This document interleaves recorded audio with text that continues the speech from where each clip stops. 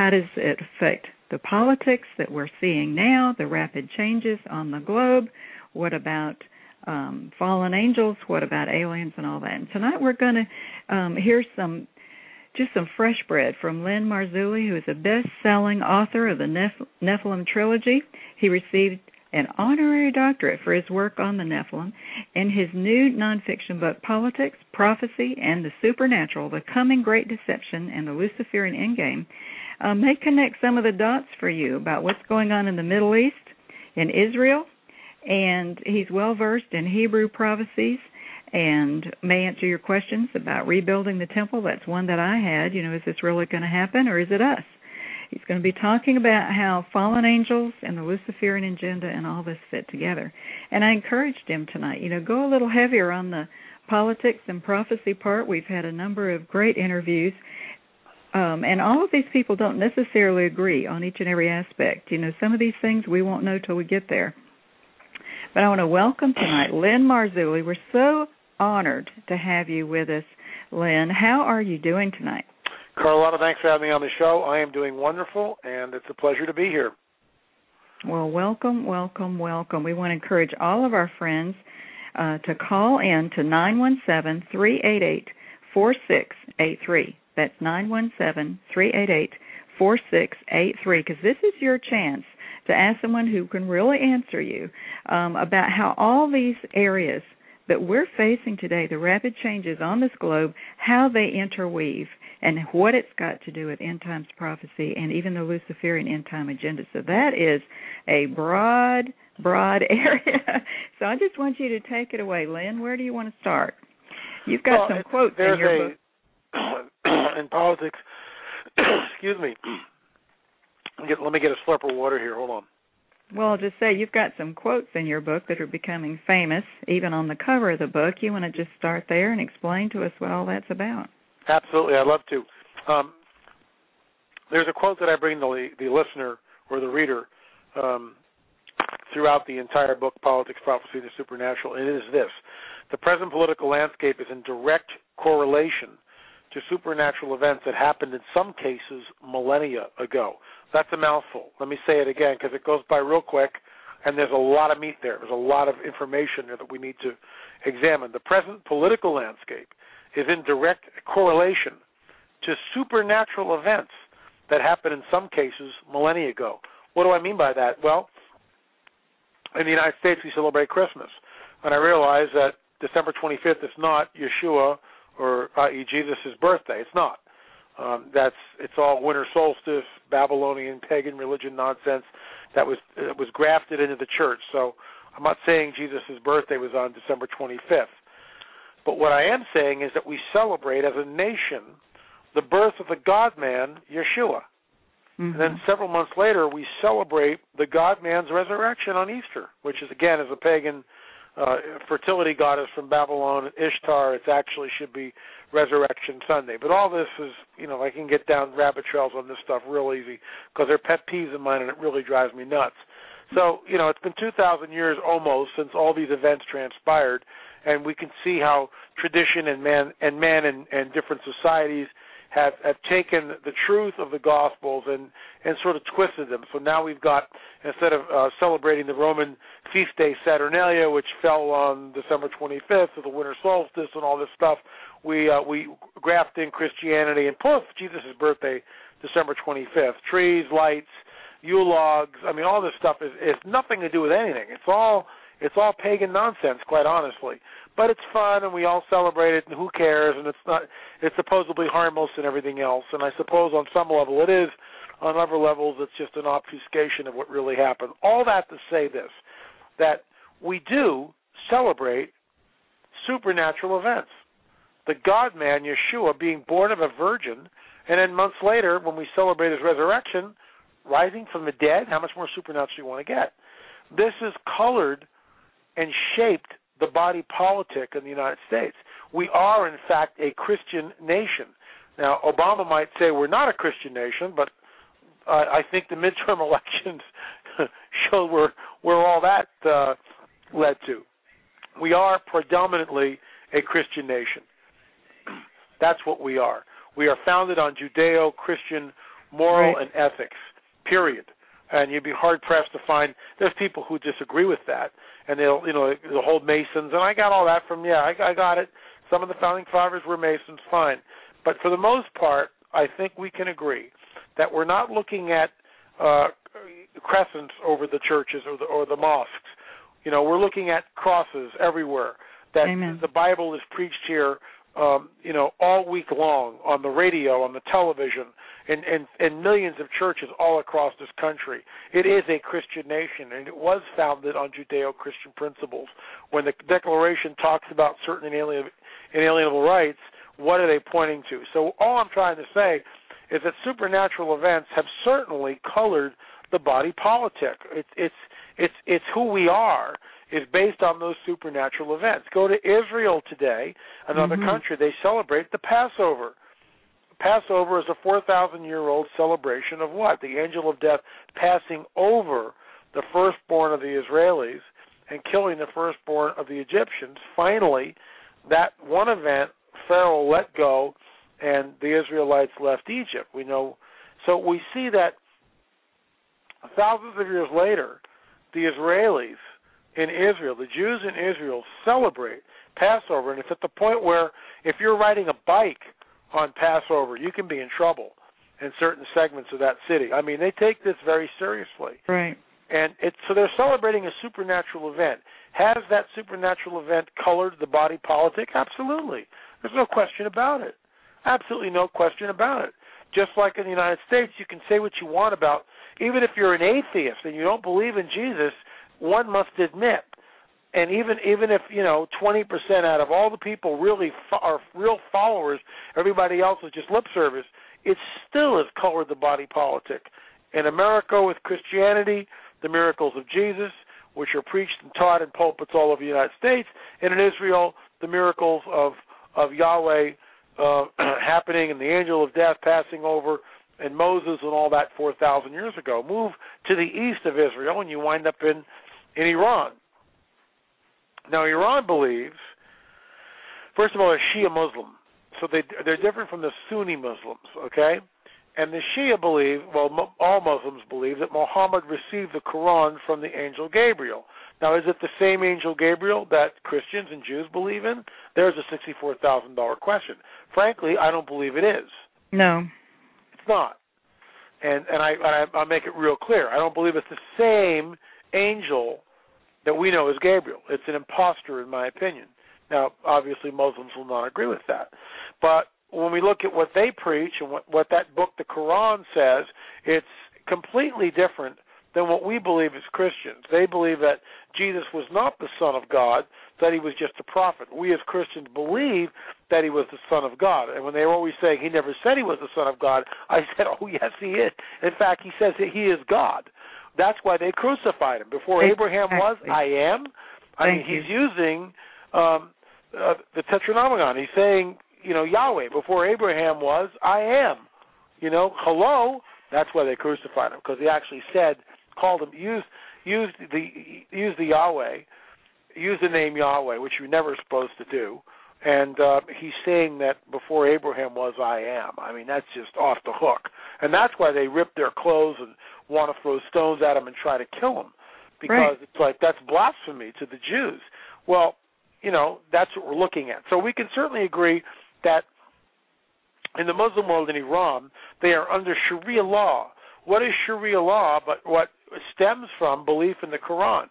So we see an entire nation, Iran, basing their body politic on supernatural events that allegedly happened to Muhammad 1300 years ago.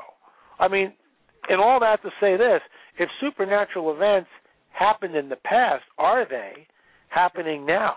And the short answer to that is a resounding yes. Absolutely, they're happening now, all over the place. Most people don't understand um, prophecy that's written in the Christian Hebrew Bible.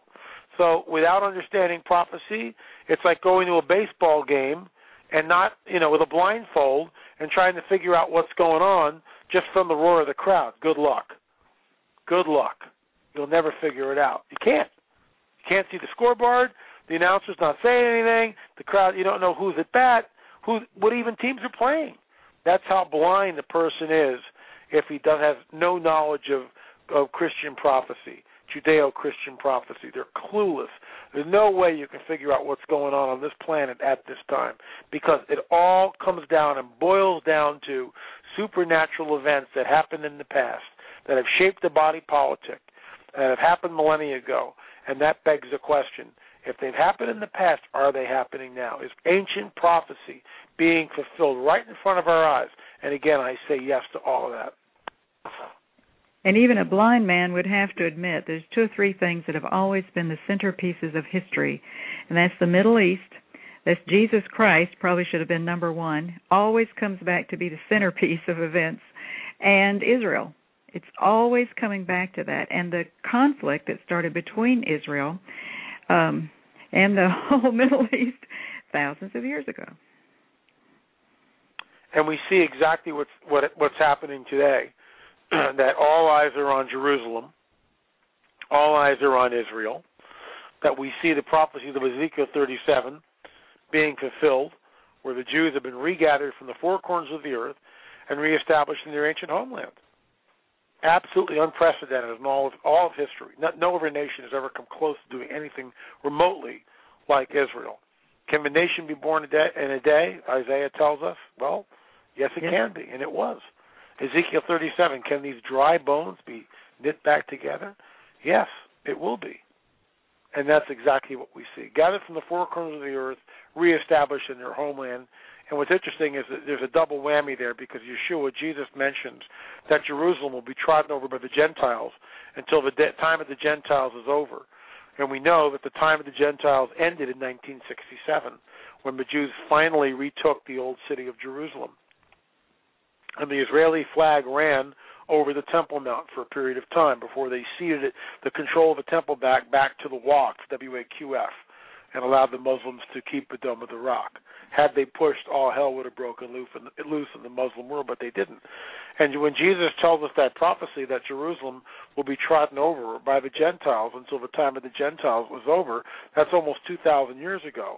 And we know in AD 70, Titus and the crew came in, and uh, and that's the Romans, and the Romans took control of the old city. And then we see that that the Romans basically hold that area till the the Muslims come in around 750. They hold it to about 1,000 when the when the European Crusaders come in, and they hold it to about 1,200. These are all non-Jewish. These are Gentile people controlling the city. Okay, the Jews have been scattered throughout the four corners of the earth. After the Crusaders, Saladin in 1200 retakes the old city of Jerusalem. Once again, puts it under Muslim hands. Then the Mamelukes come in and hold it from about 1200 to mm, 1600, somewhere in that time, about 1500. They hold it for a while. Finally, the Ottoman Turks come in and they hold Jerusalem and control Jerusalem for about 400 years until the after World War One, when the Brits take it over, and then the Jordanians finally take it over, and finally in 1967. The Jews recapture the old city of Jerusalem from the Jordanians, thus ending and fulfilling that 2,000 year old prophecy by Yeshua, Jesus, that the Jerusalem would be trampled by the Gentiles until the time of the Gentiles is over. It's over. The Israelis now control the old city. So we see that prophecy, you see, if you knew that prophecy, then in 1967, when you saw it happen, you'd right. fall off your chair. But mm-hmm. if you mm-hmm. didn't know the prophecy, you're the guy sitting in that baseball game with the blindfold on. You have no idea what's going on. Why is the crowd cheering? Something just happened, but you're not sure what. Right, right. Well, it's very interesting to me. I did my paper, Lynn, and um when I was in Tulane, I won't say exactly what year that was, in the 70s, I did my paper on eschatology. And it's amazing to me that people still spend most of their time trying to decide when we get to escape, you know, when is the rapture. So I'm not saying let's go there. But the Bible is not not clear on that. It makes it clear that it's not going to be clear on that. And what we're to do is to learn how to be effective witnesses, expressions, demonstrations of Jesus Christ and deal with things now. And I tell people you're not rapture ready anyway unless you've told everybody you know about Jesus. So don't be rushing it because you're not ready. You're going to be embarrassed. What we need to do is look at what God is doing on the earth. And tonight I think you're going to share a lot of light, illuminate scripture, give us revelation of what God is doing, what he wants to do. And Jesus did say he came to destroy the works of the devil. So I think we need to unpack our bags and get ready to be involved. Amen. I mean, I can't say any stronger than that. I mean, that is my mindset. Unpack our bags and destroy the works of the devil. That is the mandate. Not the, and, and you know this is the analogy I use because I'm asked this every conference I speak at all the time. People, L.A., are you are you pre-trib? Are you? I get this all the time from people, and this is what I say. I say, look, first of all, I'm not I'm not pre, mid, or post. I'm pan-trib. And they go, they look at me kind of funny. Pan trib, I'd never heard of that. And I go, it'll all pan out in the end, and it will. Mm. I don't miss that, mean that with any disrespect. But here's the analogy I use: it's you're in a football game, okay? We're down by three points. We have the ball deep in enemy territory. We're on the 20 yard line. Okay, there's two minutes left in the game. We're sweaty, dirty, hot, bloodied. We ache all over. We're black and bruised, but we can win this thing. We can win this thing. We're on the we're on the opposing team's 20 yard line. We can win this thing. It's first down. We can win this thing. Okay, we are charged up, man. The crowd is screaming and yelling. We go back into the huddle back into the huddle, and we mm-hmm. quarterback, and we all huddle in together. We can't wait to hear what's the play. And the quarterback goes, looks at us all, and he goes, "You know, guys, I just can't wait till the game's over." Because I got a date with that that the captain of a cheerleaders over there. Isn't she beautiful? And we're going to go out and have a burger and then go see a movie. And we sit there and go, "What? Huh? Are you, have you lost your mind? What are you talking about? We can win this thing." And that's right. that's the people who are looking, in my opinion, for and so obsessed with the rapture. They're not in the game. You know, it's none of our business. And and people argue this incessantly. They I mean, even on my blog site we get into this thing. I have to bring I have to bring correction and go, you know, knock it off. Who cares? You don't know. If we're intellectually honest, no one knows. No one knows. I've sat in lectures hours long with charts and graphs on every single position, and all these guys are adamant about their position. Well, all of them can't be right. Somebody's wrong. Let it go. Get involved in the game. Amen. Look at the game. Get in that huddle and let's win the game. Let's destroy the works of the devil, of the enemy, while we can. Because once he once he shows up with all the great signs and lying wonders, it's going to be really hard at that point. Really hard. Well, it's received the compassion of Jesus Christ for people, not just for ourselves. If us and our family are saved and we're fine, so let's go. We need to receive the compassion of Jesus Christ for people, and we have a commission, and it has not gone away. And when we stand before Him, it's going to be, Did you fulfill the Great Commission, which is right. about teaching all nations, baptizing people, making disciples, and healing and delivering, and things that really set people free to serve the Lord and to know Him. So now that we've covered that, let me get you back on track here. We were going to explain to us about the importance of the Middle East and Israel and even the jihad, huh? Well, absolutely, and here, and here's the deal: there are people um, in the body of Christ, and I look, I, I respect you know these people. They're uh, they can think whatever they want to think, and that's fine. I mean, it's you know everybody's entitled to an opinion, but there's a, a very, in my in my opinion, there's a very uh, um, dangerous doctrine which has sort of crept back into the church, and that is what's called replacement theology. And essentially, what it says, and the Vatican just announced this again last week, that Israel, there are no chosen people, that Israel has forfeited its promise from God, and the church somehow has has gotten those. Well, I couldn't disagree with that more. And if you take that position, again, you're back in the bleachers with the blindfold you're clueless because everything, everything that happens in the latter days centers around Israel, in my opinion. Everything does. Otherwise, you know, it makes no sense. And and this this is the problem for people who say that the church is Israel. Um, they'll never figure it out. The church is not Israel. The church is a church. Israel is Israel. Israel has been seated back into its homeland after 2,000 years of diaspora, after the horrors of the Holocaust, which had Hitler been complete and wiped every last Jew on the planet, he, then the fallen one, the God whom he served, Satan, would have won the cosmic chess match, proved God a liar because there would be no Jews to regather into the ancient back into Israel, and that would have been it. Game over. But of course, that's not what happened. Out of the horrors of the Holocaust came, and I believe they in fact were the birth pangs of Israel, um, came the rebirth of that nation. The desert blooms, the earthquake stopped, the latter grain begins to fall. After almost two millennia, the latter, ga- latter rain began to fall at the end of the 19th century.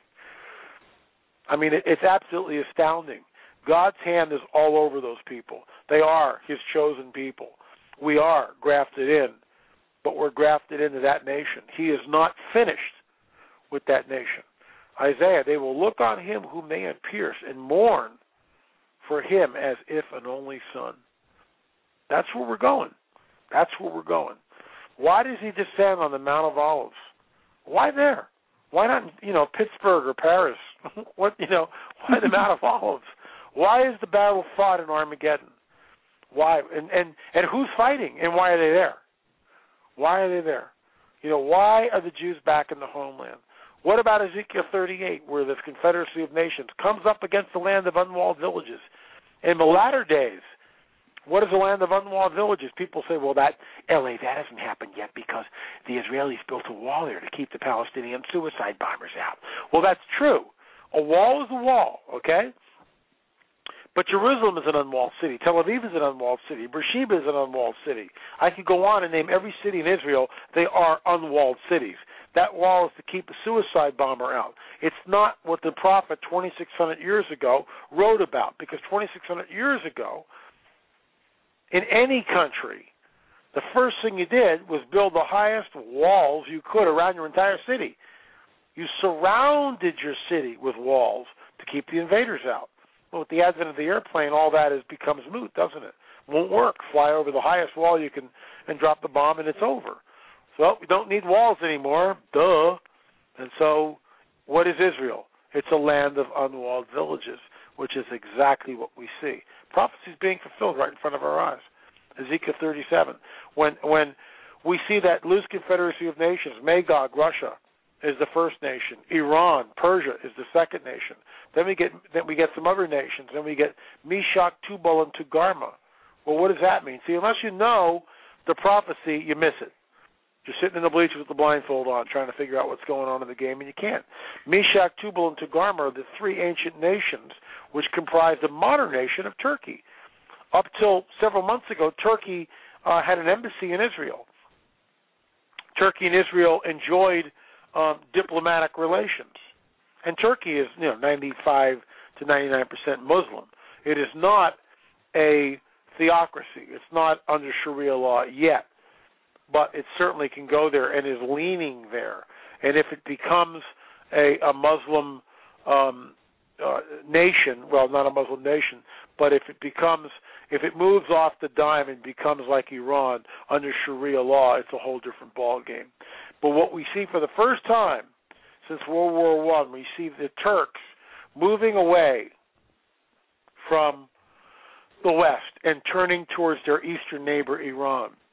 So, for those of us who follow the prophecy of Ezekiel 38, it would appear that what we're looking at is the lining up of those nations that are talked about and listed with great specificity in the Bible. I call the Bible the guidebook of the supernatural only because that's what it is. Bible just means book, and it is a book. Got it.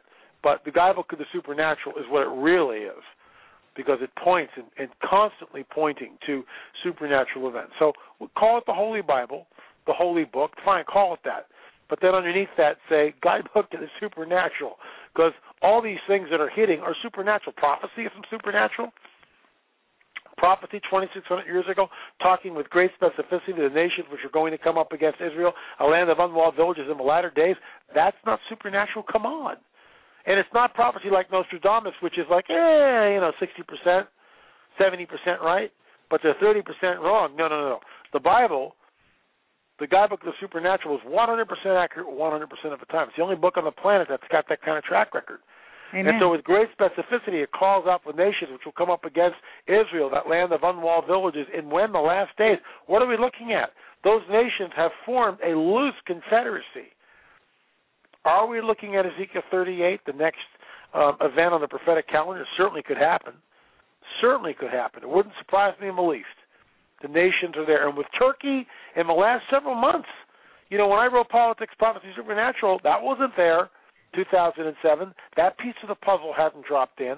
Now it has. Togarmah, Meshech, and Tubal are all now together. And Russia's got its fingerprints all over this thing. All over this thing. It sold the Scud 2 missiles to Iran, which went to Syria, which now Hezbollah in northern Lebanon has has them pointed at Israel. When when World War III happens, when when the Middle East finally erupts, Carlotta, and it will erupt.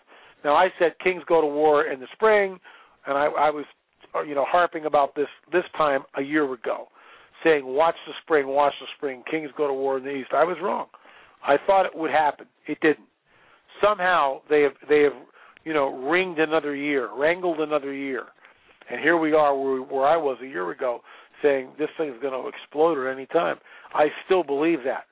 It is a, it is like a tinderbox just waiting to happen, waiting to explode. And some incident will will kick it off and when it happens, I I believe that the world as we know it will change forever. It's a game changer because the Middle East is so tense it's not just a little skirmish like we saw in 2006. It's it could be the Megillah. We could be looking at an unbelievable confrontation. If the Iranians are involved, the first thing they'll do is close the Straits of Hormuz. The Straits of Hormuz are in the Persian Gulf. Iran borders up against the Straits of Hormuz. It, it, it, its southern boundary is, controls the Straits of Hormuz. 40% of the world's oil moves through the Straits of Hormuz and the Persian Gulf. Why do you think we've got aircraft carriers and destroyers and planes and everything else in the Straits of Hormuz? The Iranians know that if it if it blockades with a radiological bomb, a dirty nuke in the Straits of Hormuz, it shuts down the glo- the lifeblood of the global economy, which is oil. And if it does that, oil immediately goes up over $200 a barrel ten to fifteen, twenty dollars at the pump for a gallon. Who can afford that? If you can get it, who can afford it? See where it's going? And then the Iranians have have a double. It's like double jeopardy. What they've done, excuse me, what they've done is they've got terror cells. They've got operatives in Yemen, and Yemen borders the Red Sea below Saudi Arabia. Another 30%, 40% of the oil goes through what is known as the Gate of Tears, a very narrow passageway, the Gate of Tears in the bottom of the Red Sea. Well, the Iranians, it's a two prong attack. They'll hit the Straits of Hormuz and the Persian Gulf, and then the Gate of Tears in the Red Sea. Now they're now they've upped the ante, so it's instead of 60% of the oil, it might be like 80% of the world's oil is now choked off so you see that you know you can have all the ships there that you want, but when this thing happens, it's a game changer.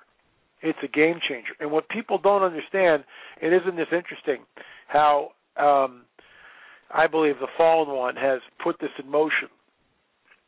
The Iranians believe, and they are Shia Muslim, they believe that the Imam Mahdi will incarnate at the last day. That's this is their eschatology. And with him will appear Isa, Jesus. And the Mahdi will take Jesus to Jerusalem and teach him how to pray. I just love that. Isn't that just great? The way they sort of demote Jesus to he, he's not even sure he you know the Mahdi will show him how to pray. Mm. It's just it's so arrogant. And guess where you know guess where all that's coming from? I mean I don't need to connect the dots. It's it's obvious where it's coming from because it's it's at the antithesis of what we believe as Christians. Why? How can anyone teach the Son of God anything? Who John tells us by him all things were made. There's nothing on the universe that was made that was not made through him. Period. If you believe Scripture, and of course I believe that, and that's why it's there. So they believe for the Mahdi to manifest, there must be a time of total chaos, and that's what they're ready to do. Right. That that's what we're dealing with. That's it. What about dirty nukes in the USA? That could contribute a little. Well, in politics, prophecy, and the supernatural, again, I talk about that. Um, it's well documented, and we hear this over and over and over again that the southern border was porous and remained porous for for decades. And you know, everybody from uh, from Nixon, everybody knew about it. No one did doodly squat with it, and so the drugs kept coming up and coming up and coming up in this through this corridors. And uh, and um, Osama bin Laden had what was called a fatwa. A fatwa is a religious decree given by an imam. An imam is like a pastor or a priest in the Muslim religion. So the fatwa a religious decree given by the imam, the pastor, the uh, Muslim priest or whatever you want to call him, was that Osama was allowed to use weapons of mass destruction against the infidel, including non-combative um, targets. In other words, men, women, and children. And so many of us believe, Paul Williams has written the book Al Qaeda Brotherhood of Terror. I quote him in my book, Politics, Prophecy, and the Supernatural. But there are other uh, pundits who have looked at this and believe that Al Qaeda has between 2 and 20 suitcase nukes already in this country. Between 2 and 20 suitcase nukes already in this country. And they are sitting there embedded in American cities. Now, you say, well, LA, that just sounds so unbelievable. Well, let me direct your attention to what Hillary Clinton said about two or three months ago.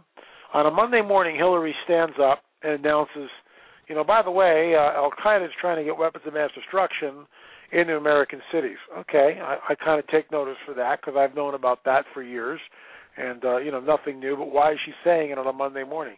Two days afterwards, Mahmoud Ahmadinejad, the president of Iran, stands up and says this if the Iranian people are attacked, the Iranians will respond by detonating weapons of mass destruction in American cities. They're ready. They're, they're get ready exactly. And, mm-hmm. and people go, well, where did they get them from? Well, what did I just say a few minutes ago about Osama bin Laden and smuggling up to the southern border? We know that o- o- bin Laden was in Tora Bora in Afghanistan. He was routed. We also know that the Afghan drug lords are corrupt the guy with the most money usually gets the favor, curries favor, the bakshish. And so Osama paid them off and went to Pakistan, realized he couldn't stay in Pakistan forever, so he sends a message to the Iranians. And it's a quid pro quo. Now, Osama is Sunni Muslim, and the schism between Sunni and Shia is legendary. The sectarian violence, which happened in Iraq last week, about a week ago was uh, Shia against Sunni. The hatred runs deep. It runs 1,300 years. They hate each other. Each they call each other infidels. So that's what the different branches of Muslims do to one another. They kill each other, and that's what the the bombings were in and around Baghdad were sectarian violence. So Osama, who is Sunni Muslim, sends a message to the Shia Muslim, and basically he says this. He uses the old Middle Eastern Arab adage which says, The enemy of my enemy is my friend. So the Iranians pick up and go, Who is the enemy of my enemy? The U.S., the great Satan. And guess what? I've got, let's let's pick a number. I've got six dirty nukes embedded in American cities. Give me safe passage.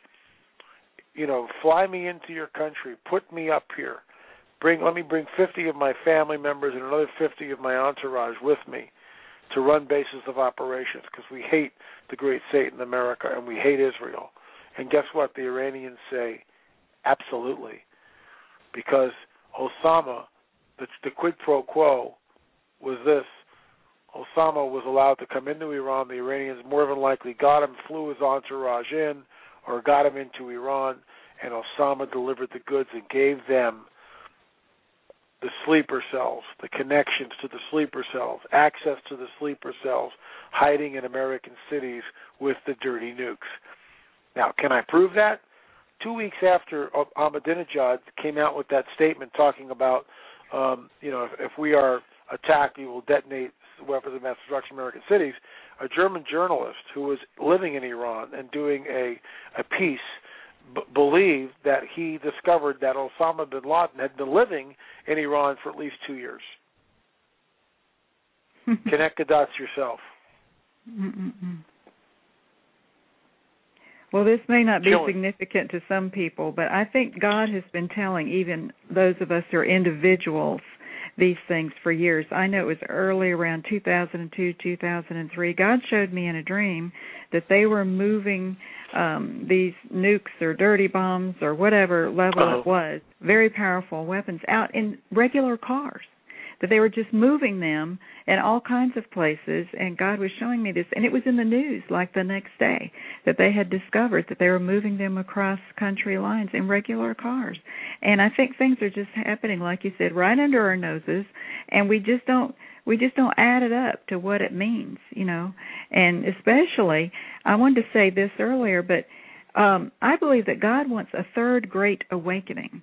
Instead of us going out in defeat, He's uh, there are places in Scripture that indicate there can be a third great awakening.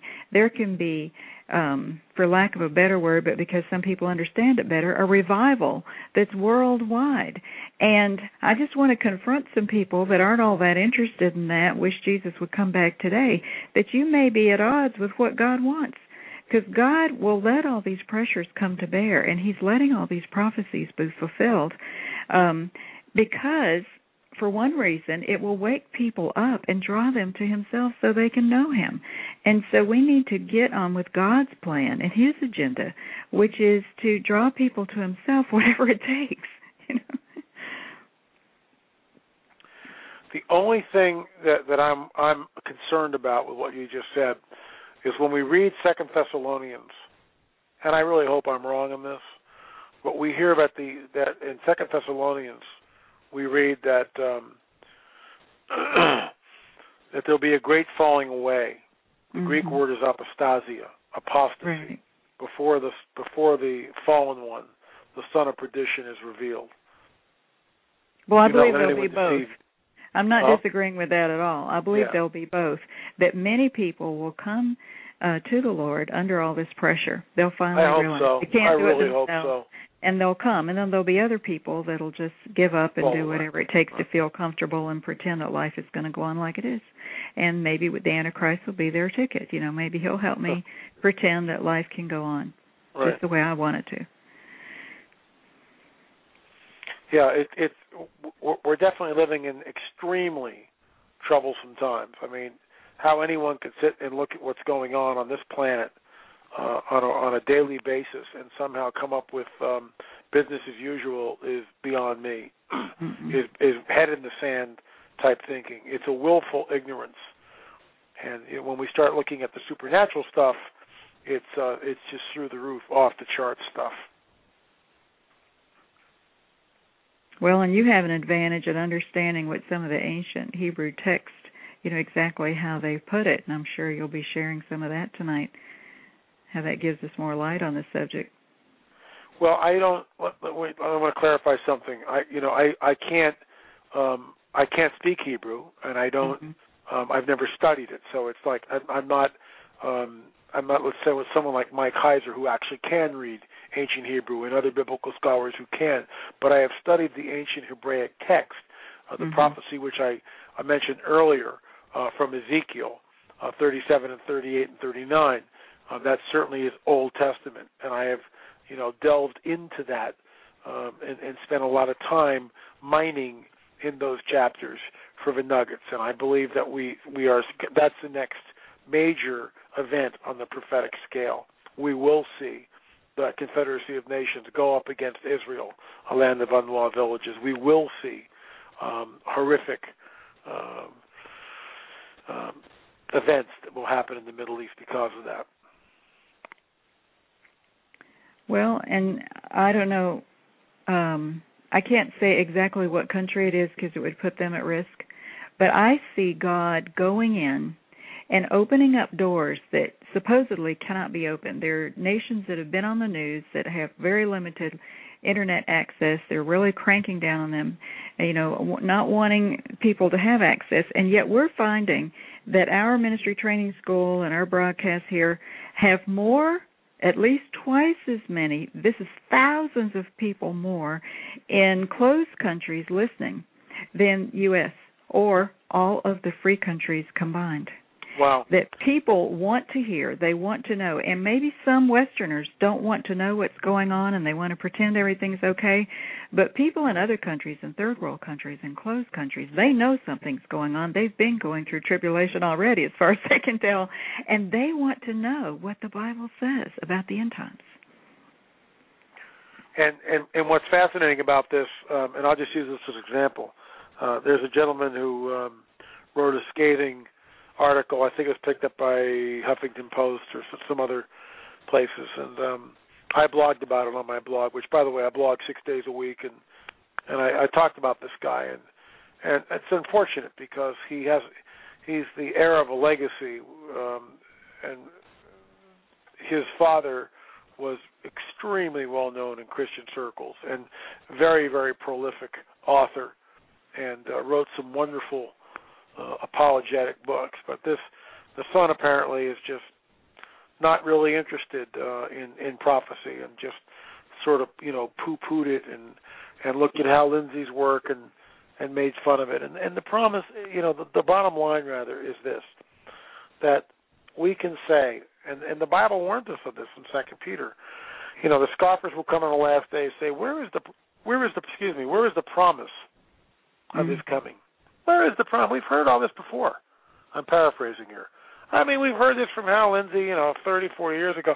I mean, it's like you know, like a plan where I mean, it's like, okay, it's, it's we're 40 years out now, and where's the promise of His coming? I mean, how many more times do we have to listen to this stuff? Where's the promise? You know, uh, and see that that's the problem. And people are willfully, I mean, I mean, underline that word, willfully ignorant of the times we are living in, because you know the Lord is is slow to anger, and He waits, and He waits, and He waits some more. He's really slow. He's incredibly patient. And right. he wants everyone to be saved, and he wants everyone to come in. He doesn't want anyone to perish. No one. Thus, he's slow to anger, and so we're we're in the we're in the time where uh, people, the scoffers, are saying, you know, we've heard about all this nonsense. There is no second coming. It's like it's never going to happen. There is no literal second return of Christ. You know, the Jews and and you know not coming back to the homeland. They can be thrown on Israel. This can go on for a hundred more times. Who cares? And see, with that with that attitude in mind, um, I don't believe a person can ever understand what the scriptures talk about, or certainly will never come to an understanding of the days, the times which we are living in. Because the mm-hmm. times, the promise of his coming is real, and it hinges around Israel. And the signs are all here the wars and rumors of wars, famines and pestilence, earthquakes in diverse places, troublesome times. They're all here. It's all happening right in front of our noses. But you know, many people look. You look at the news on at six o'clock, a Fox, CNN, whoever you want to look at. You don't get any of this stuff. They don't talk mm-hmm. about this stuff. You never hear about the famines in, in in let's say Ethiopia and the Sudan or other places, in Niger and all throughout Africa. We never hear of like the persecution of Christians, specifically in Middle East countries, even in Iraq right now, where Christians are being threatened. I mean, give me a break. It's hap- What about the earthquakes? on a global scale that happened between six point or you know basically it's hundreds and hundreds of earthquakes more than we've ever seen before and many of them reaching 7.2 or higher on the Richter scale then we see the volcanoes the Eyjafjallajökull volcano in Iceland. And now there's a new volcano which is near Eyjafjallajökull and Katla that if it blows they're saying this thing could be like look out. The Indonesia volcano which is erupted plus the plus the um uh, the earthquakes in, in that part of the world, not only in Indonesia, but but um, excuse me, in Australia and in other places in in in that uh, in Christchurch, uh, the seven point what was it seven point eight in Christchurch, New Zealand, a few weeks back. I mean, give me a break. It's like every single week. Gulf oil spill. You don't think that's a troublesome time, which may have actually stalled the Gulf current as we know it? the marine life from that unprecedented. It, the rivers were so cold in, in Bolivia that there was this summer that there was a die off of millions of aquatic life, dolphins, manta rays, tens and thousands of fish, hundreds of thousands of fish, alligators just floating in these rivers. Same thing in New Orleans, thousands and thousands of fish floating in the river. It looked like a uh, a cracked asphalt highway that had been baked in the sun, all dead fish. Thousands of dead fish washing up uh, against New Jersey. The coral all dying off and the coral reefs all around the Gulf. I mean, give me a break, guys.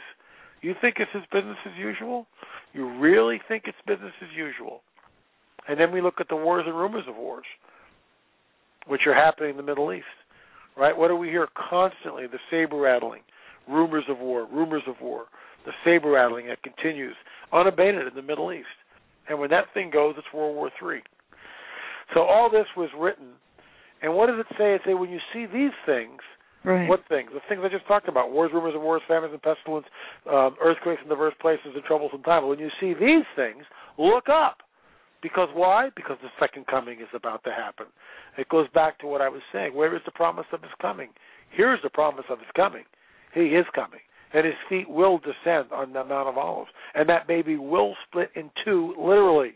It's not metaphor. It's not allegory. Literally, that puppy will split in two.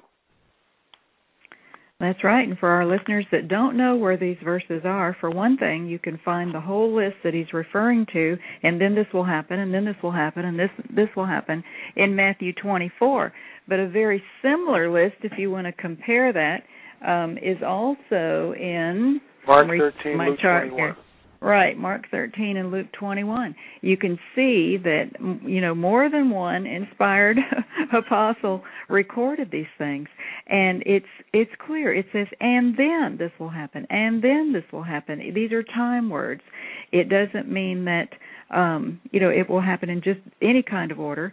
And you will notice that there is a second coming, but unfortunately, it's toward the end of the chapter. you know, we would like it to be the first thing in the chapter. What this tells me is we are supposed to be His love to the people around us, here and now, in the midst of these things. We're supposed to be His compassion to people around us, and this is our opportunity. This is a stage set for us to share Jesus Christ, why He came, why we need Him, and why He died, and why we all need a Savior. Amen. Good word. Well, what about? Can I ask you a specific question about the Jewish Please. temple? Um, you know, some people are saying, well, this is the temple that we are. This is not a literal temple being rebuilt. Do you have an opinion on that? Yeah, absolutely. Um, once again, uh, a person who holds that uh, tenet, and look, I believe that we are the temple of a living God. I got all that right. Okay, I got it. The Christians, no problem, got all that. But we need to understand that we're dealing with the 70th week of Daniel, and we have to realize that the Antichrist will set himself up. The whole end game, everything points, the mystery of iniquity that Paul talks about that's been working for thousands and thousands of years, the five I wills that Satan says in Isaiah, I will ascend, you know, I, I will um, ascend to the heavens, I will be like the Most High, I will seat myself to be worshipped as God. All everything points to the end game, the Luciferian end game, is the Antichrist, the seed of Satan, literally setting himself up in the rebuilt temple in Jerusalem to be worshipped. That's where it's all going. Where Satan's seat is right now, Jerusalem. That's where it is. Satan's seat is in Jerusalem. Absolutely in Jerusalem. That's where he reigns from at the moment. Because at some point in time, the Antichrist will come riding in. And at some point in time, he will reinstall the Antichrist to be worshipped. Worshipped. The temple will be rebuilt. The Jews already have, have got the stones cut out. They've already got the, the temple implements. So it, it's both. You see, it's like, yeah, I'm the temple of a living God. I got that. Sure, right, got it. But the real temple on Jerusalem will be rebuilt because the Jews need it because the Antichrist has to go there. And it will happen. And the guy who cuts the deal, the guy who cuts the deal to rebuild a third temple in Jerusalem is none other than the Antichrist himself. Which leads us down a whole set of interesting hypotheses. Right. Because about the time some of our listeners might be thinking, well, this buys us some more time because the temple hasn't been rebuilt yet. What would you say to that? Well, I would say that, it's true that it hasn't been rebuilt yet, but we know that it's, it's probably a bargaining chip. At some at some point in time, the Israelis will be allowed to build the temple, and that's without destroying the Dome of the Rock. They will. They will. They won't have to. The, um, in other words, the mosque, the Dome of the Rock, will remain intact. And what they'll more than likely do is, is put up a wall between the Dome of the Rock and the new built or the newly constructed temple in Jerusalem, which also fulfills another prophecy in Isaiah talking or Ezekiel rather talking about the outer court is given unto the Gentiles and is profaned, which which fulfill that prophecy. You see, the Temple Mount is 40 acres. It's a huge complex. There's plenty of room for two edifices on that Temple Mount. The Jews want the temple built. The Muslims will go to war over it which is just incredible when you think about all this stuff. It's just mind-boggling, mind-boggling how all this stuff plays out. Because if you were to tell anybody, hey, uh, what are, what are the odds that the Jews are going to rebuild the third temple on the Temple Mount? You see, and if they don't know prophecy, they'll give you a thousand to one odds. That's never going to happen. There's no way. There's no way in in a month of Sundays that that's ever going to happen It's never going to happen. But Scripture tells us it will. The third temple will be rebuilt. Absolutely will be rebuilt.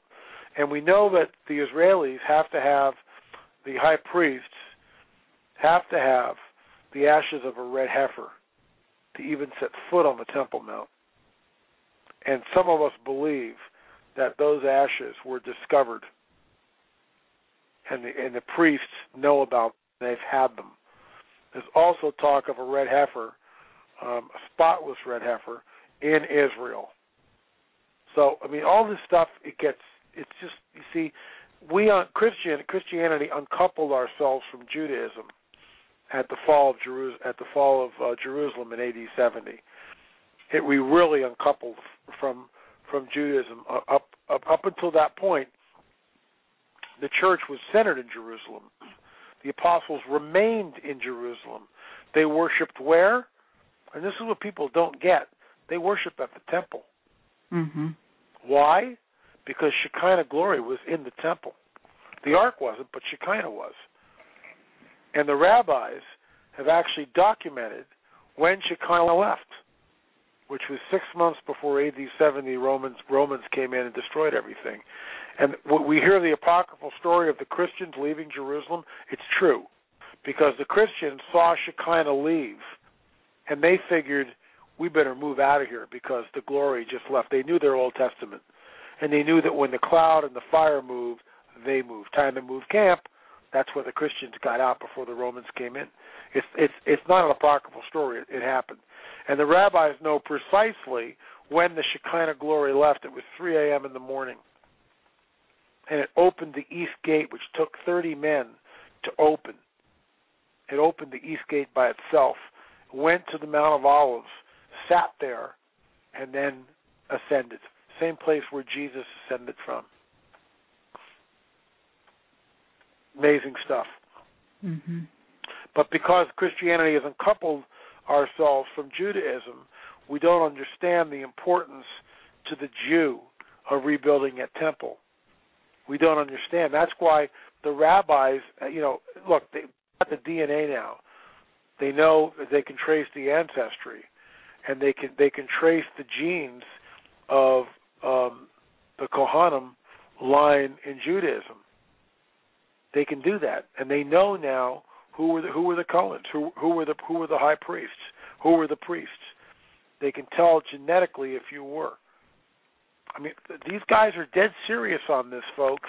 You know, we can sit back and go, "Oh, they're never going to rebuild that third temple. It's just a bunch of hooey." Okay, fine. It will become self-evident. Trust me. They already have the temple stones hewn, already done, already to move them up on the Temple Mount. They've already got the vestments, the implements.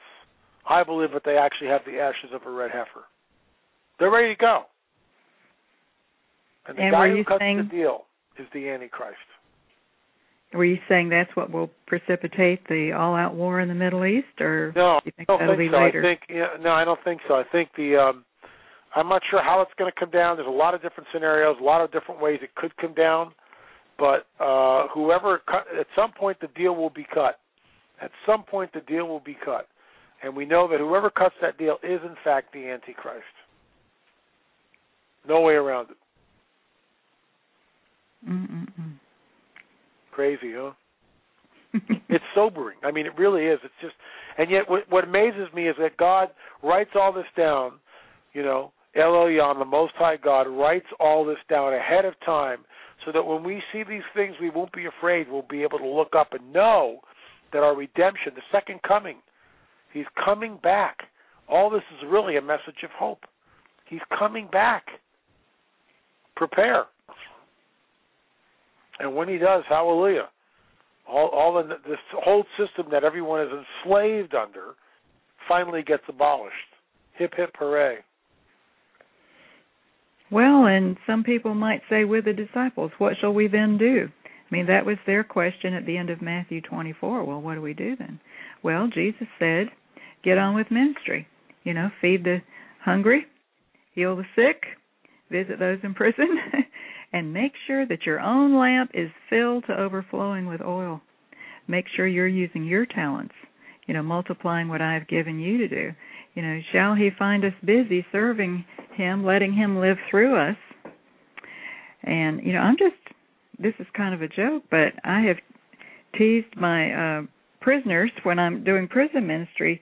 You know, some people their reward in heaven might be what their passion was for, and it would be a clicker for a TV because so many Christians are just watching their TV, you know, just wasting their life away watching TV. When there is so, there are so many people that haven't heard.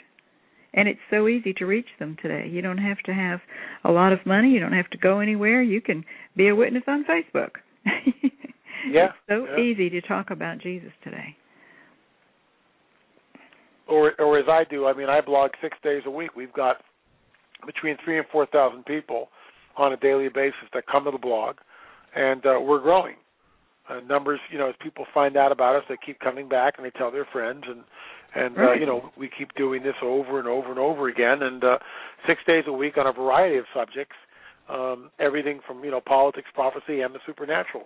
Today we were talking about um, the burgeoning UFO uh, sightings, which are which have been seen over the weekend, and we blogged about that. Uh, I'm not sure whether you aware of this, Carlotta, but we just finished uh, a DVD called Watchers, and um, the, the title of that first. This is the first in the series. It's episodic, and, uh, that and that first um, uh, uh, pilot DVD is called UFOs are real, burgeoning, and not going away. Yes. And, uh, yeah, we're selling these things like hotcakes, and uh, it's 52 minutes long, and and it shows the DVD does this. You know, it's like we're, we're most people, a lot of people don't like to read. Okay, so we made a DVD because History Channel right now. By the way, I'm supposed to be on on this week's episode. We'll see if I am. Um, because they twist everything, and, and they're promulgating the, what I call the alien gospel. That's what they're doing. That's what they're promulgating. This this coming, what I call the coming great deception. And um, even though they filmed me for two to three hours in August, I, I doubt I'll be on for any more than 30 seconds like I was in season one, whatever. But from that, we had a modicum of funding, and my my good friend and who is the director and producer of this thing, Richard Shaw of Pinlight Productions, and myself got together and wrote the script and did this thing, and it's 15 minutes long. And all we're trying to do with this pilot is to show people that there's something going on supernaturally. There's something that's manifesting. The phenomena is real. Look at the evidence. Look at the sightings. Look at this. And what's great about this, you put the DVD in and you watch. And we do everything from cattle mutilations. There's at the end of the at the end we, we spend 50 about about 20 minutes with Dr. Roger Leir on implants, implant removals. We actually show live surgery of implants being removed from a person. The person is then interviewed, and we get his take of what these implants are. The implants are then, Dr. Leir talks about them. They've been sent off to labs. They have nanotechnology. They have metal not found on this planet, meteorite type metal. The nickel uh, uh, nickel ratio in the metal is higher uh, than it should be, and on and on it goes. We talk about cattle mutilations. We talk about the different sightings in different parts of the world. Um, and when we show different clips, hundreds and hundreds of orbs appearing over Mexico. It's not a flock of birds. Something is going on. Thousands of witnesses. We we show Dr. Edgar Mitchell, who comes on and says Roswell was real. UFOs well, are being about, covered up by the governments of the world. During our break now, why don't you just give our listeners the addresses where they can get your um, your products, contact information, all of that. I'll just turn on our little break music and you take it away. Great. Uh, the best place to do that is lamarzulli.net, lamarzulli.net, or you can go to my blog site, lamarzulli.wordpress.com, lamarzulli.wordpress.com. And I saw um, your advertisement about the watchers or all that information on the website. There's a lot of links to other interviews and all. I first heard Lynn Marzulli when I ordered the DVDs from the First Christian Symposium on Aliens and some of the things he's just referred to, as well as a lot of information, you know, recapping some of the uh, most hard evidence that fallen angels are interfering, are um, abducting people and all, is on those DVDs. It was well worth the purchase.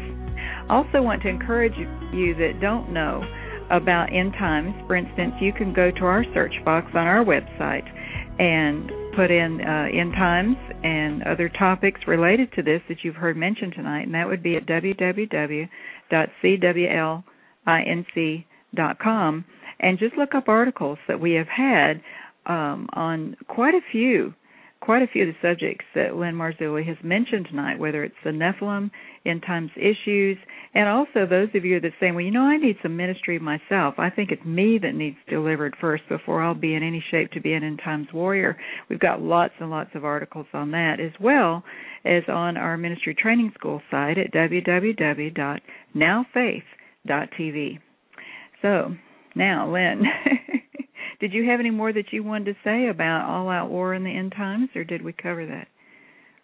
Well, I, I think we've sort of, you know, um, covered it. We we can continue. Okay. There's um, a lot of stuff going on, but I think we've, you know, touched the highlights of it and give people a good overview. Okay. All right. Well, I'm glad that you showed us how that prophecy just weaves into all of this and this is biblical and this isn't just an obsession because I think people are aware that they don't want to become obsessed with UFOs or something, get their attention on that, fall into anything that takes them away from a focus on Jesus Christ. But on the other hand, it is pertinent. It is pertinent to know if fallen angels are back, if they ever left, and how they're interfacing with humanity and, you know, the trouble that's being caused and how it relates to us. So, where would you like to go from here? Well, I mean, look, some something is manifesting. Some sort of phenomena is manifesting, and and in my opinion, uh, the view that best describes it would be a view that that embraces both delusion and illusion, demonically inspired, right, and mm-hmm. also um, real nuts and bolts uh, craft behind the phenomenon. In other words, it's kind of hard to have a, a, a delusion when the radar goes off and two pilots in two different airplanes see a mile wide craft. Now, welcome to 2007 over the English Channel, where two different pilots in two different aircraft see a craft, metallic craft, over a mile wide. In fact, they see two of them, and then it's it's it's it's um, recorded on radar, and they saw this thing for like 50, five zero minutes. Now, you know, it's like, hello, something's going on, and the witnesses came forward and said the same thing. We were on the plane, we looked out, we saw this thing. They're not all hypnotized. You know, you get what I'm saying? They're not all hypnotized. Some of this stuff is real. And that's why I say I think the best, the healthiest view is to realize that we are dealing with a super scientist. Why limit him? The fallen one, Satan. Why limit him? Why have a truncated view of the phenomena? Why not just say that it can be both? What is the problem with that? And yet there are people apparently that have a problem with that. Well, the devil's always been in, into anything that would distract us from Jesus Christ, and far more than distraction if he can pull it off. Absolutely. Well, another thing that I have heard from the people that I'm working with that have been high up in um, satanic covens and all, they're talking about cosmic beings a good bit, but they're also talking about because oh, they serve them, by the way, and they're very aware that they're not just serving demons, they're not just serving the devil himself, they're serving all these fallen angels. But they're talking about portals being opened, uh-huh. and I think you had mentioned something about that. You know, the, your awareness of portals being opened, and they're not the good kind, not not things no. that we want. Portals to fallen angel activity. Well, here's here's something that people need to understand, and and really get this around their head. And this is why, you know, we talk about revival, and people are always saying it's like, you know, the third wave or the we're going to have a revival and all this stuff, and and I'm going like, well, okay, let's walk through this and let's examine where we really are. Since Roe v. Wade, we have had one billion with a B, one billion abortions worldwide, over 50 million abortions in this country alone. Abortion is nothing short, nothing less of a Luciferian, satanic, ritualistic blood sacrifice. That's what it is.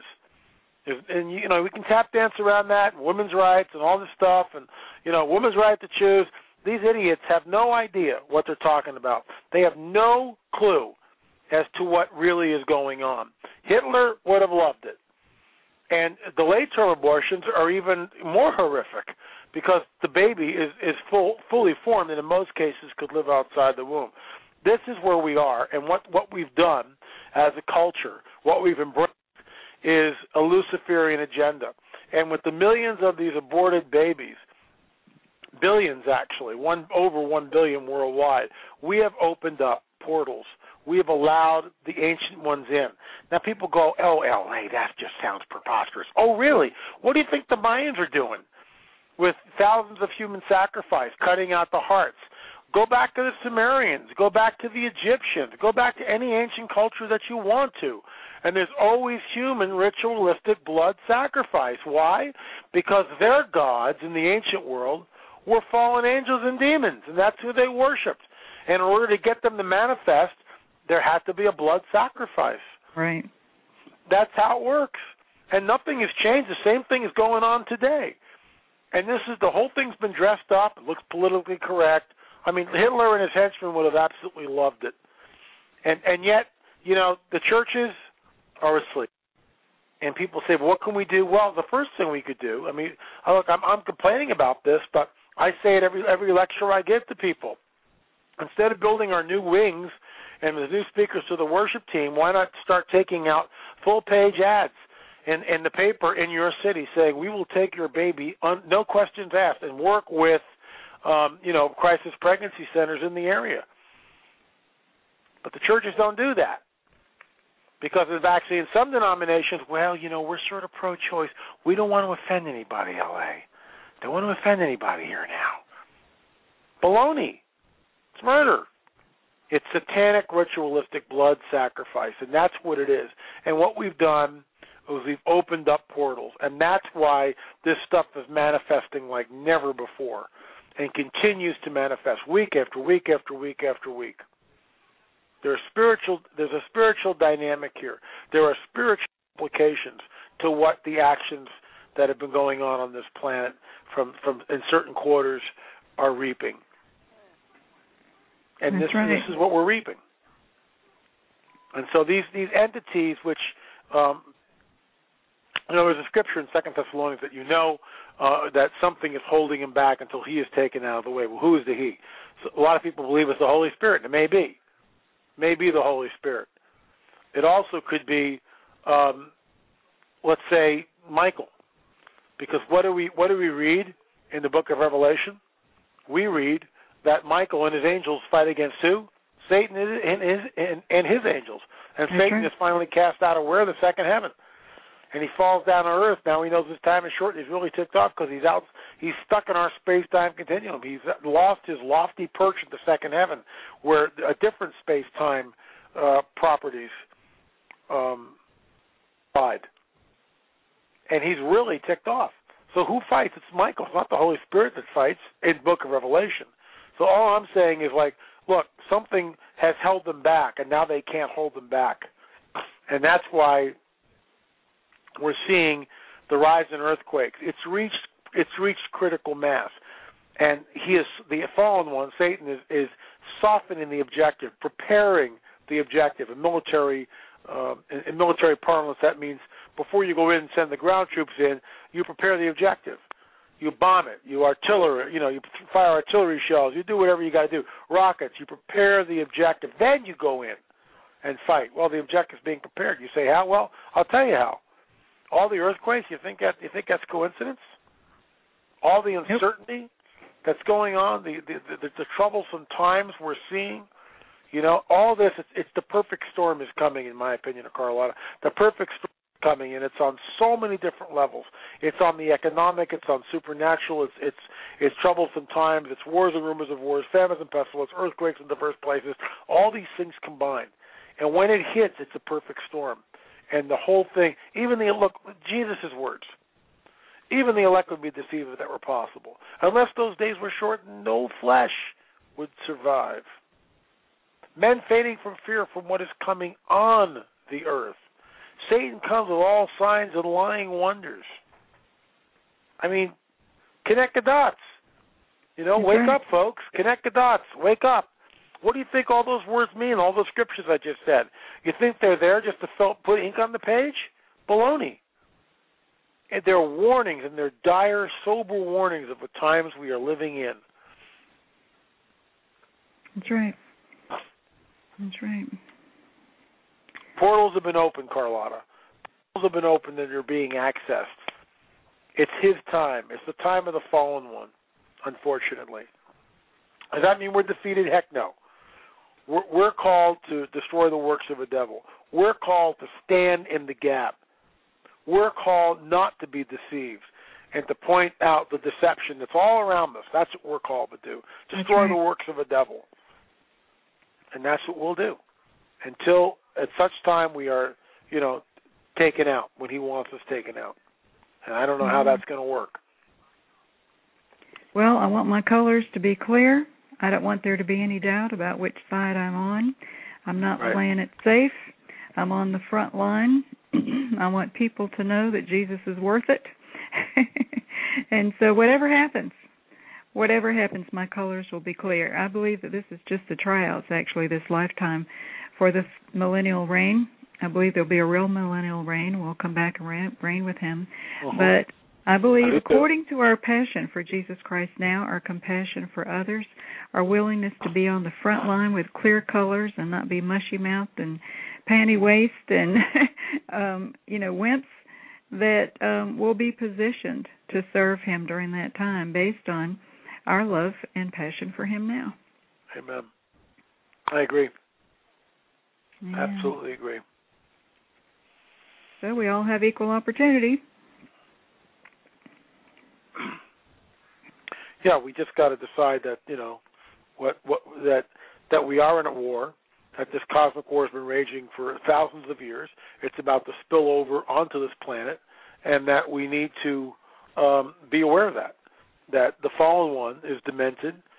Uh, he he's already lost because we read the end of the book, but this is his time. He's been preparing this, the mystery of iniquity and he's been preparing this thing for thousands of years. And it's his time. The world is wired together at last. He's got everything set up for the great coming deception, and that's what will happen. Mm-hmm. The Great Deception, the coming Great Deception of a Luciferian Endgame. That's the subtitle of Politics, Prophecy, and the Supernatural. And that is coming. That is definitely coming, in my opinion. Well, I can't give exact dates on all this, um, Nor but if you go backwards over the last century, you'll see how the real seat of Satan from Babylon was exhumed and set up, and the real gates of hell were set up both in Strasbourg and Berlin, and how you know worldwide war fell out. Hitler's on the scene. We have the holocaust. We have portals opened. We have all of these things just over the last hundred years that are opening doors for the Antichrist, his end times agenda, his mighty army. But at the same time, praise God, like I'm seeing more and more listeners, more and more pages being read by people from closed countries. Um, pe- the interest in Jesus Christ is arising. So I want to take this opportunity to come against the mindset that many Christians have that if people wanted to know about God, they would know already, or the steeple is up, they can find a church. People don't know about God, and if you do any kind of survey like the surveys we do, we'll find even we found that 19 out of 20 people didn't know what they believed about God, even though they claimed to be Christians, most of them. The only person in 20 people that knew exactly what they believed was a Muslim. Mm-hmm. So even the people that will tell you they're Christians already may not know that Jesus Christ is God, that he was crucified, like you said, for claiming to be God, that that's the issue of the whole universe. You know, who is Jesus Christ? And that um, little do they know that they should have made him Lord and not just received him as Savior. Mhm. You know, they'll say, Lord, Lord, and he'll say, Who are you? And so we have a lot of work to do. But we have a just a great setup to do it. You know, with all these pressures coming to bear, this is a great time to talk about Jesus Christ. And don't let the devil tell you that people don't want to hear it because they do. Yeah, I get um I I'm sure like you do. I get hundreds of emails every day from people. Um the ministry here it's all internet based. It's all email based. Sometimes it's phone conversation, but oftentimes it's people asking questions and shooting off an email and uh um I do tons of radio and and uh, conferences and, and download this information to people and arm people with the knowledge that they need to not only get through this time, but to understand the times that we're living in, understand that the fallen one is about to make his sort of last uh, last great entrance before he's finally de- defeated and thrown down, thrown down and defeated, and that uh, the second coming is a reality, and that when when Yeshua returns, life as we know it will really change. I mean, finally, the evil that that has permeated this world and the evil system that has kept and subjugated millions and millions of people through thousands of years will be done away with. I mean, this is the this is our blessed hope. This is the great hope. This is what we're looking for. This is what we're waiting for. And I believe we're right on the cusp of it. I believe it's close. I'm not a Amen. date setter. I have no idea when, but I believe we're close. you want to give a range of years that you think we have left? I won't do that now. well, at the recent uh, supernatural science and prophecy conference that I went to, where Russ Dizdar and Tom Horn and uh, Derek Gilbert and Sharon Gilbert and all were speaking, Jeffrey Red, Rott, um, you know, they ask, do you think we have 20 years? Do you think we have 10 years? Uh, at least half the people had it down to 10 years, and maybe half of those down to five years. And that's one reason I asked you about rebuilding the temple because that would buy some time.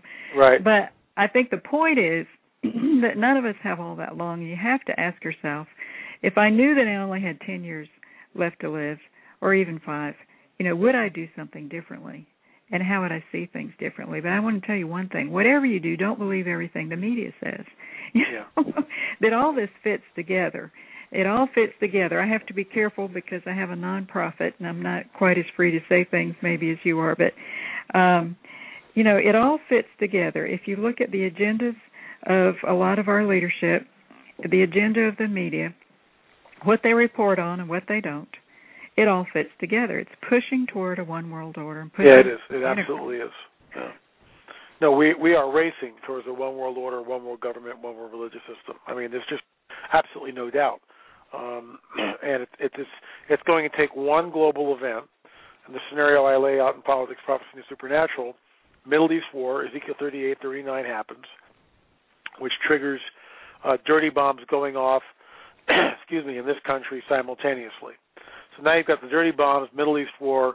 The whole planet is is in the greatest state of fear that humankind has ever known, ever experienced since since our creation. But collectively, because we're seeing like the Chilean miners rescue, we're seeing it all on CNN and, and the internet, and you know we're, we're twittering it. Everybody's looking at this thing live on television. The you know, is this really it? Is this the end of the world? Perfect time for the UFO, the Space Brothers, ET, the so-called extraterrestrial presence to finally manifest. Hey, we created all life on this planet. We genetically manipulated early man. We started the Earth's earliest civilization. We started the Earth's religions, all of them. We are now back at this critical juncture in human history to usher mankind into a time of peace, prosperity, and knowledge. Ding! There's there's the great deception right there. That's what changes everything. That's the game changer. That sets up the one world system, the one world religious system, the one world government, the whole deal. You know, you'll see people like Bill Clinton, you know, will come on the radio and go, "One planet, one people, please." I mean, you'll see it. George Bush W will come on and do the same thing. You know, one planet, one people, please. I mean, we'll see it. Uh, everybody, Sarkozy, Merkel, who's ever in power will come on and say, one planet, one people, please. And from that, they will elect one world leader. Watch the King of Jordan. Watch the King of Jordan.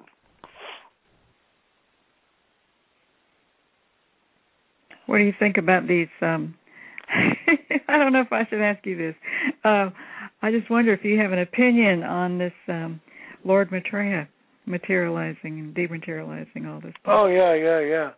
I've been following Maitreya for 28 years. He's uh will be in the the not the book I'm working on now, but the book that comes after called Messengers of Deception. He certainly is one. Benjamin Creme. Um, I've I've conducted an interview with uh one of the people out here in, in Los Angeles on Share International, um, which was quite fascinating. Let me get a slip of water. Uh, and uh, for, for, your listeners who might not know, Maitreya, in 1982, Benjamin Creme uh, took out full page ads in the LA Times, um, New York Times, London Times, in a paper on the European mainland, basically stating that the Christ is now here. But also the Imam Mahdi, we talked about that a little earlier, that the Shia Muslim believe, Imam Mahdi, the Messiah of the Jews, the um, the Buddha of um, the fifth Buddha, of those in, in, in the Orient. And uh, don't know how it goes. I'm basically saying that that Maitreya is the world leader now, the ascended master who has come and incarnated here on the earth for a time such as this.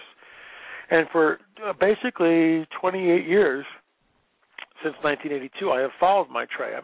And until recently, he sort of kept in the back seat, didn't really do a whole lot. Benjamin Creme is getting up there in years, and he's been the spokeshole for Maitreya for forever.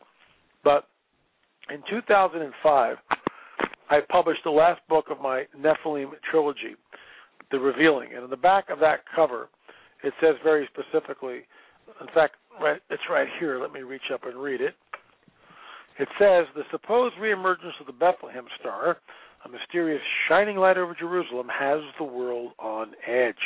Well, 2009 Christmas, right around that, Benjamin Creme announces to the world that the reemergence of the Star of Bethlehem will now be seen all over the globe, and that originally the Star of Bethlehem was in fact a giant UFO that appeared to show the wise men where Jesus was. I'm not making this up. I did make it up in 2005, four years before Creme announces this. I did make it up. It was in my in my in my book, my sci-fi book, Nephilim, the third book in the trilogy, The Revealing which was a total fictional work. And here is two, four years later, 2009, you know, life is imitating art. And Benjamin Creme mm-hmm. announces that this is what's happening. I fell out of my chair when I saw that.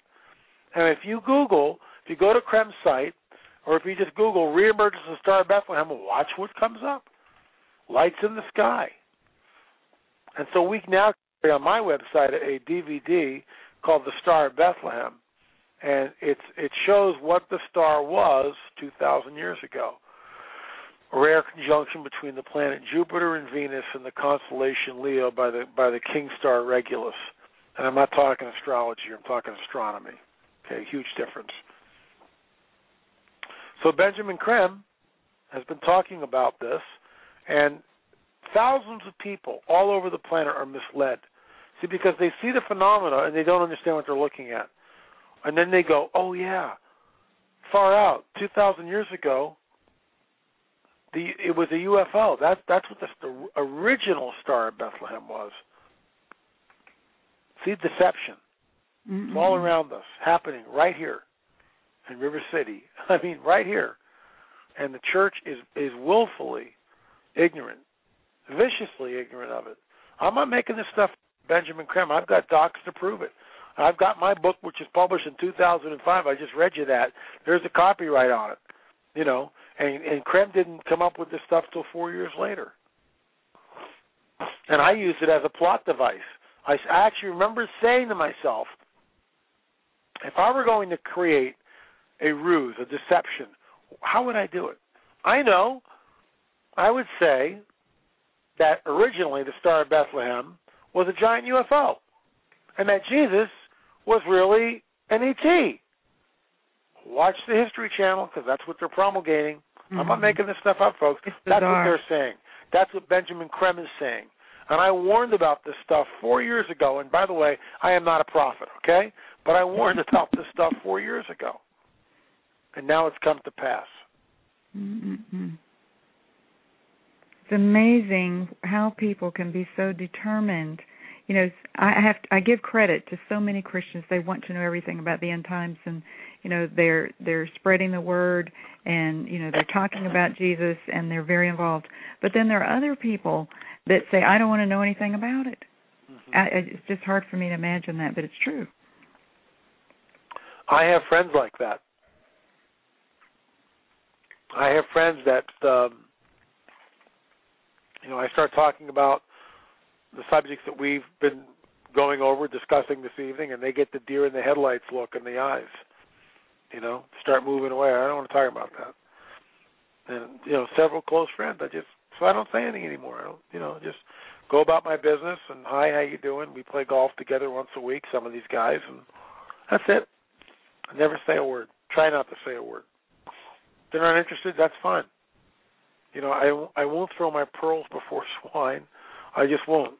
You know, you don't want to hear, you don't want to hear it. I'm not going to, you know, hit you over the head and force you to uh, force feed it to you.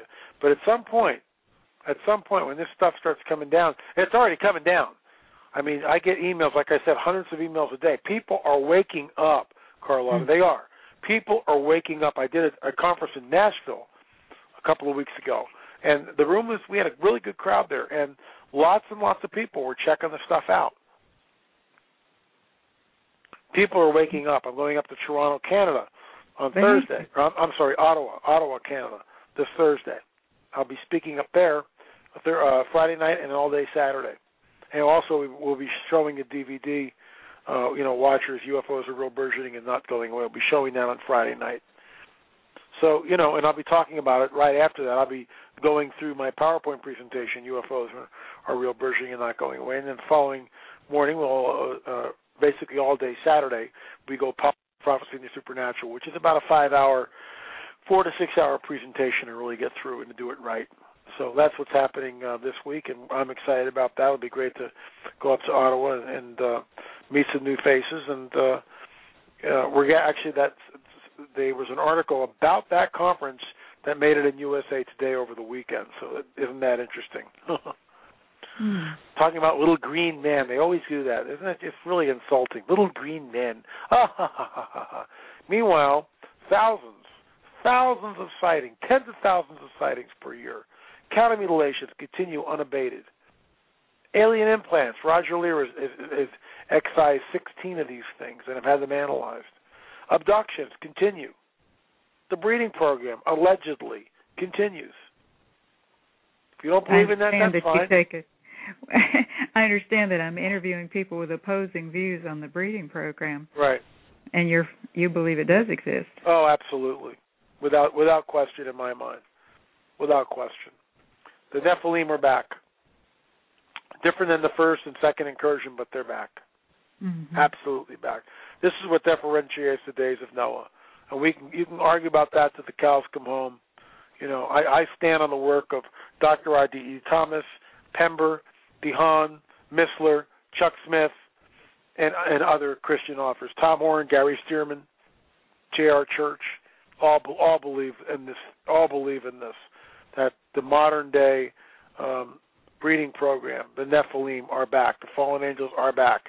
Chuck Missler believes that the the Antichrist may boast some sort of an alien ET uh, hybrid connection. That's what Missler's take is on it. Mm-hmm. So, you know, I'm in good company here. well, unfortunately, we'll all know for sure very soon. Is my concern. we'll yeah. all know. What about the super soldier army? Do you believe it's already built? Being Absolutely. Built? Absolutely. See, what's interesting is is that the SRA phenomena and the abduction phenomena intersect. Mm-hmm. And we didn't know that a year ago. We didn't know it a year ago. Now we know it. Because Dizdar wasn't aware of my work and I wasn't aware of Dizdar's work. And vi- and vice versa. Others who had who had, you know, gotten into this didn't know about SRA and people in SRA didn't know about the alien abductions phenomenon. They didn't know all of a sudden we start trading notes and they start hearing, well, this sounds a lot like what I'm going through. And some people who are counseling SRA victims all of a sudden are hearing about Nephilim mothers. What? Right. What are you guys talking about? What what is this? I'm getting calls from Australia and New York and all over the world. You know, what is about this Nephilim mother stuff? Is it true? Can it be happening? Are there modern? You know, is, is this is this a real phenomenon? And people on then there's other people say, oh, it can't possibly happen. Angels are not are not here. We're not doing this stuff. Well, who says that? How can you possibly say that? Why why why even state that? It's like modern Sethite theory saying that that okay, the sons of God were really just the ungodly line of Cain marrying the daughters of of, of Seth. What? No, the text says very specifically in, sec, in Genesis six, sons of God are the Benai Elohim, which always states angels, always. So when Jesus points back to that time what is he pointing to? Why does he signal out that time? What differentiates that time? It's the essence of the case. It's the essence of the case. What differentiates that time is the presence of the fallen angels. Nothing else. That's what differentiates it more than anything. Yeah, you can say mankind lived to this, but mankind's not living to, you know, 500 years now or 800 years or then. So that doesn't work. There's no giants. No, it was the fallen angels having sex with the women and it's different. Now they're breeding out giantism. They don't want that. What they want is a hybrid that looks and passes humans. And this ties back into Daniel where it says in the latter days, right? It, it tells us this that iron mixes with clay, right? It won't mix with clay. Their seed will mingle with the seed of men, but they shall not cleave to them. And as my friend Jim Wilhelmsen pointed out, the word cleave there is the exact same word in Hebrew that we get in Genesis 6, cleave. They took for them wives, whoever they wished. Now they're not doing that, and that's exactly what we see in the modern day breeding program. They are creating super soldiers and Nephilim. The hybrids will will be will order the hybrids will order the super soldiers. Want to see a super soldier? Google Madness in the Fast Lane. Just Google that. It's it's a video on YouTube done by the BBC. Google Madness in the Fast Lane. You want to see a super soldier or a hybrid? I'm not sure exactly what we're looking at. It's one. Yeah, I've got a picture of, of one, one on my one website. Of, I'm sorry, what? I've got a picture of one on my website, and you can see how much taller. And these, they don't all appear as giants, but this particular right. one does. You can just see how huge he is. Nasty stuff. So I mean that, that look, with all due respect to those on the other side of the aisle who don't agree with that, fine. You know, believe what you want to believe. I mean, I'm I'm not I'm not here. I don't want to debate. I'm not into arguing, and you know, I'm I'm here in this. I want to destroy the works of the devil, and that's what we're doing. Mm-hmm. You know, we're, we're destroying what he's setting up. We're shedding light on it. This deception, when it comes, will be overwhelming. As Russ Dizdar points out, what if the super soldiers start running around doing their stuff? What if a ship ends and we see hybrids start running out. Oops, there goes your theory. There goes your though. theory, right, right, right down the drain. Now, now what are you going to say? That's why I liked it that you brought up about the intersection of the SRA work, which I do. You know, helping people that have been in satanic ritual abuse, that have been programmed, that have had mind control. I've worked with people second generation mind control and all. It all comes down the same thing. Do you not only know how to minister deliverance to people, but do you know what to do with fallen angel activity? Do you know how to um you know, what do you say when you find that there's a devil there that isn't responding to being the you know, the usual approach of casting out a demon? Do you know how to rebuke him? Do you know how that's done? Or um will you just be defeated in that case. You won't be right. able to help that person. It's just not that hard to learn it all. And that's why we teach people how to do restoration prayer ministry because it's not that hard. Jesus does all the supernatural stuff. We just have to know how to agree with him and, you know, exercise his authority over it. Oh, I, I look. I, I agree. There's a there's a phrase I, I I teach. I don't know. I guess teach might be too strong of a word, but I suggest to people who are at the conferences, and I say this all the time. You see a light in the sky, you're not sure what it is. Rebuke first, ask questions right. later. I like that. Yeah, rebuke like first, that. ask questions later. The Lord rebuke you. By the blood of a lamb, you are rebuked. By the blood of a lamb, you have no power here. You know, you must leave by the blood of Jesus. You know, the Lord rebuke you. Leave. We have a caller. Hooray. We have a caller. I'm sorry I didn't notice that. We have a few minutes left. We want to have time to pray for the people too, but um area code 352. Welcome to the program. Did you have a question or Yes, hello, Dr. Marzulli. How you doing? Uh, hi, this is uh, Pastor Chris Ford. I met you years ago. Hey, Chris. How you doing, man? I'm doing pretty good. Hey, I noticed your new book. Uh, this is a nonfiction book. Which one are we talking about? Politics, prophecy, supernatural. Yeah, that's that's um that's that's two books back, but yeah, it's nonfiction, correct. I see. Uh-huh. I was wondering. I was listening to the show. Uh, do you think that um, uh, if you consider the Beast translation in Daniel as uh, being a kingdom, uh, do you think that the Beast uh, is Islam? Wow, that's a that's a great question. I mean, it's a great question, and um, I will say this. You know, it, again, it's the type of stuff where we start looking and we start speculating.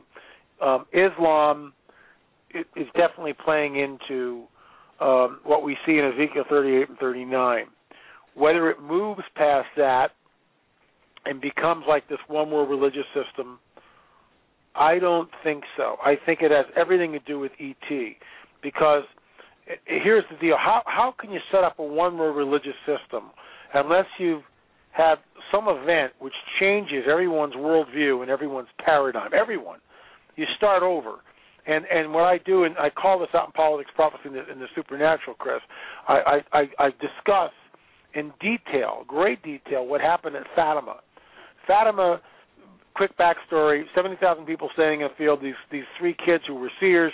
They kept seeing the Virgin Mary, what they thought was the Virgin Mary. It wasn't. It was not the Mary of the Bible, in my opinion. With all due respect to Catholics, it was something else. And it communicated with them to telepathically. Now, only the three kids saw it. No one else. There was actually a fourth witness who did see it and would not go on the record until the 90s because she she didn't want the notoriety. Okay. So the three kids see this thing, and the, the clergy's all freaked out. Some are saying it's demonic. Other people saying, no, it's real. It's God. It's Mary. It's who. This. We need a sign.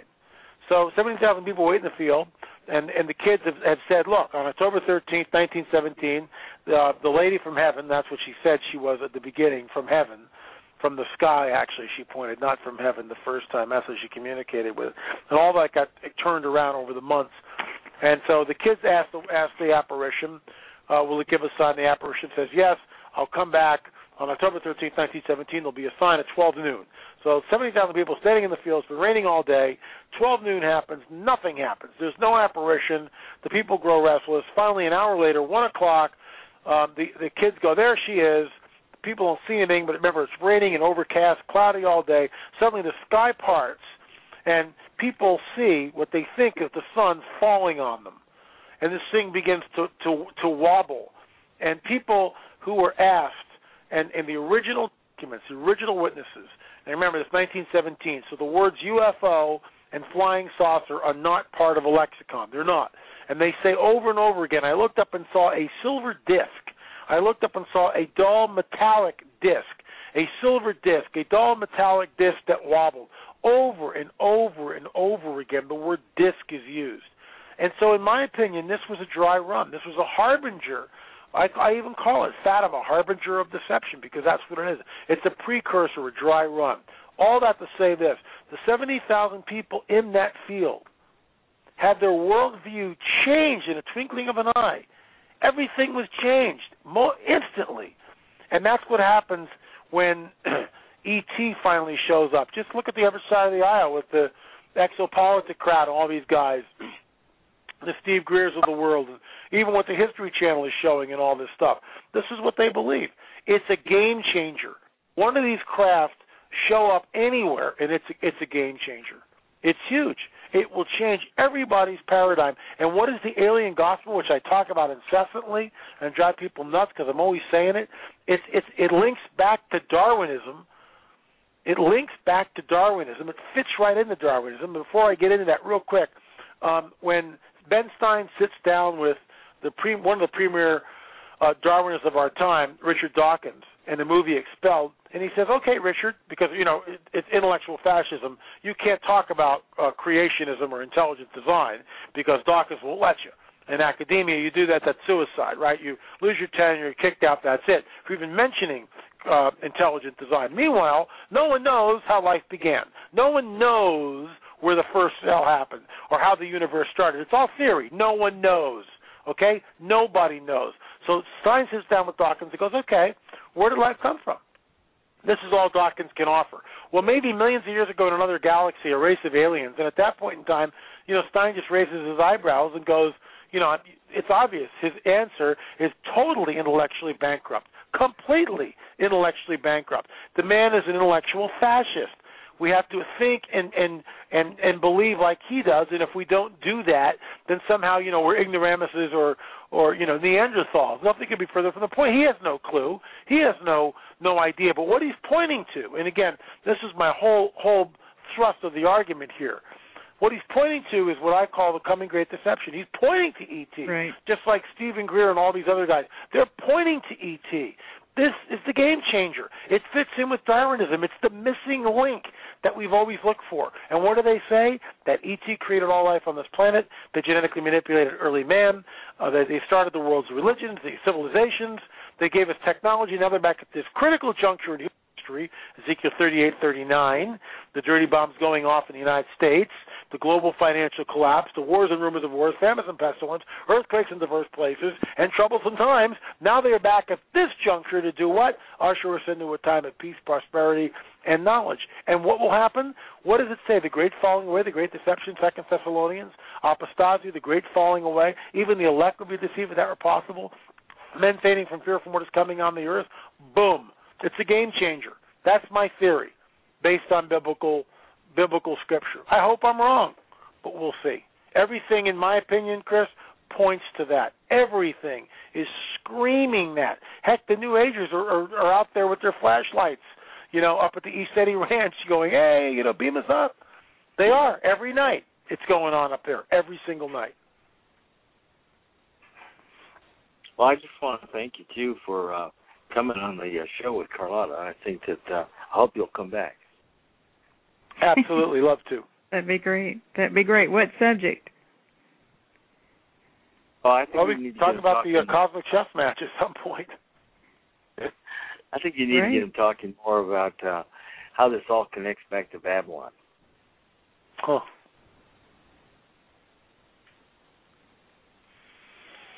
Well, you know, Babylon is where it is, it, it isn't this interesting. It, it talks about, you know, as in the days of Noah, um, and another dynamic of, of the days of Noah is the Tower of Babel.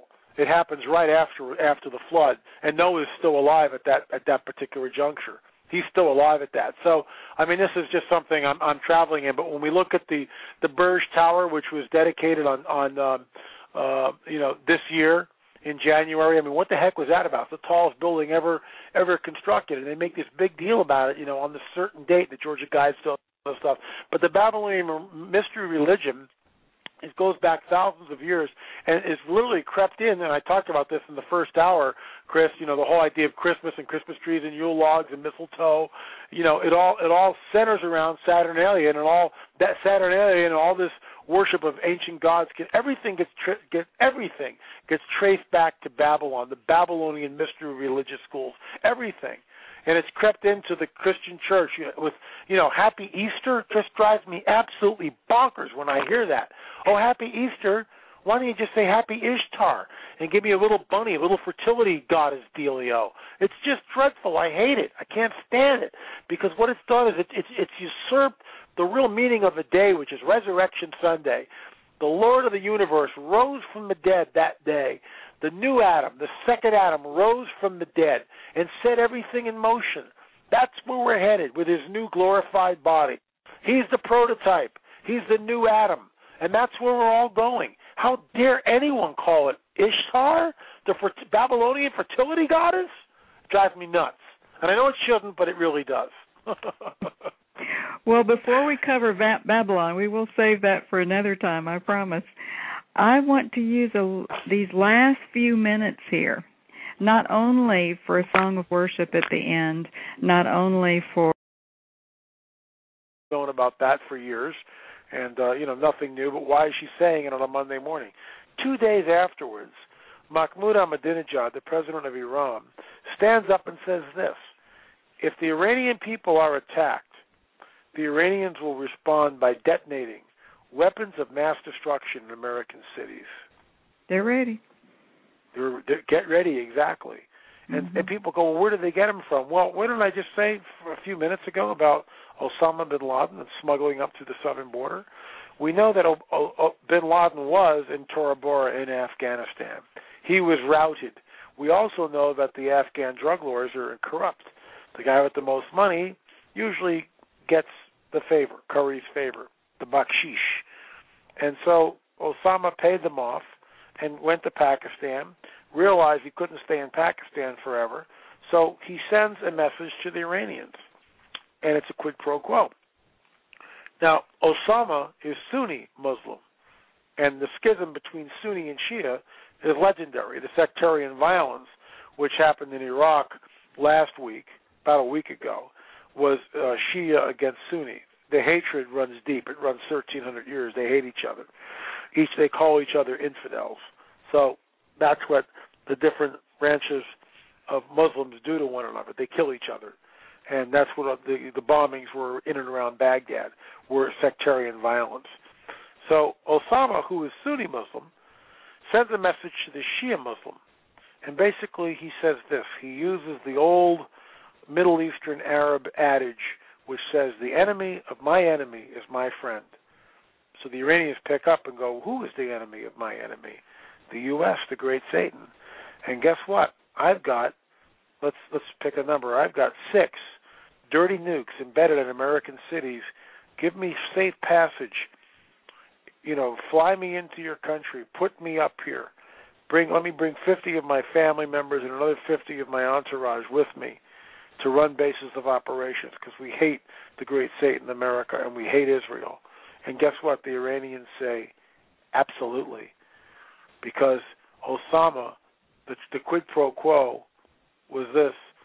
Osama was allowed to come into Iran. The Iranians more than likely got him, flew his entourage in, or got him into Iran, and Osama delivered the goods and gave them the sleeper cells, the connections to the sleeper cells, access to the sleeper cells, hiding in American cities with the dirty nukes. Now, can I prove that? Two weeks after Ahmadinejad came out with that statement talking about um, you know, if, if we are attacked, we will detonate weapons of mass destruction in American cities. A German journalist who was living in Iran and doing a a piece b- believed that he discovered that Osama bin Laden had been living in Iran for at least two years. Connect the dots yourself. Mm-mm-mm.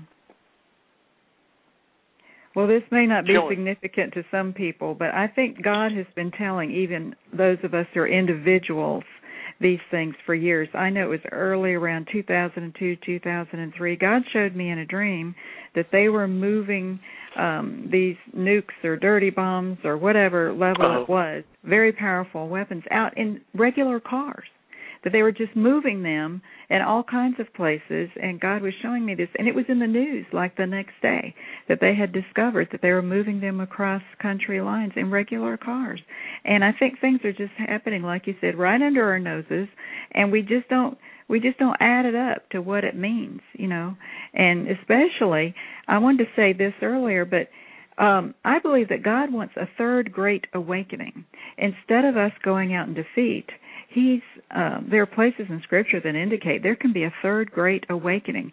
There can be, um, for lack of a better word, but because some people understand it better, a revival that's worldwide.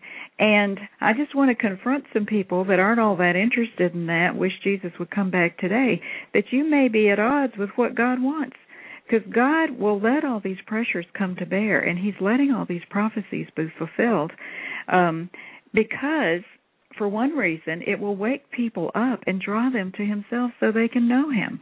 And so we need to get on with God's plan and His agenda, which is to draw people to Himself, whatever it takes. You know. The only thing that that I'm I'm concerned about with what you just said is when we read Second Thessalonians, and I really hope I'm wrong in this, but we hear about the that in Second Thessalonians we read that um,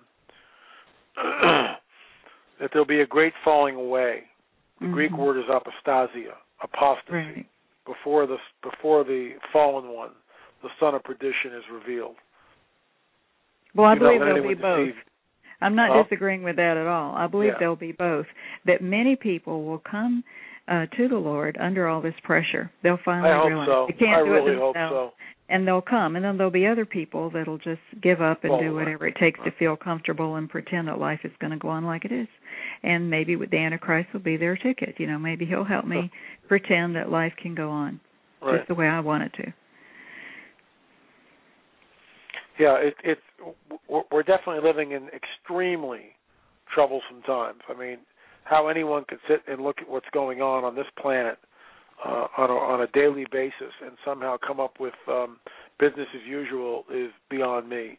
Mm-hmm. is is head in the sand type thinking. It's a willful ignorance, and know, when we start looking at the supernatural stuff, it's uh, it's just through the roof, off the chart stuff. Well, and you have an advantage at understanding what some of the ancient Hebrew text, you know, exactly how they put it, and I'm sure you'll be sharing some of that tonight. How that gives us more light on the subject.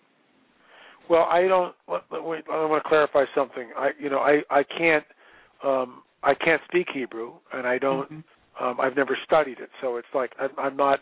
Um, I'm not, let's say, with someone like Mike Heiser who actually can read ancient Hebrew and other biblical scholars who can. But I have studied the ancient Hebraic text, uh, the mm-hmm. prophecy which I, I mentioned earlier uh, from Ezekiel uh, 37 and 38 and 39.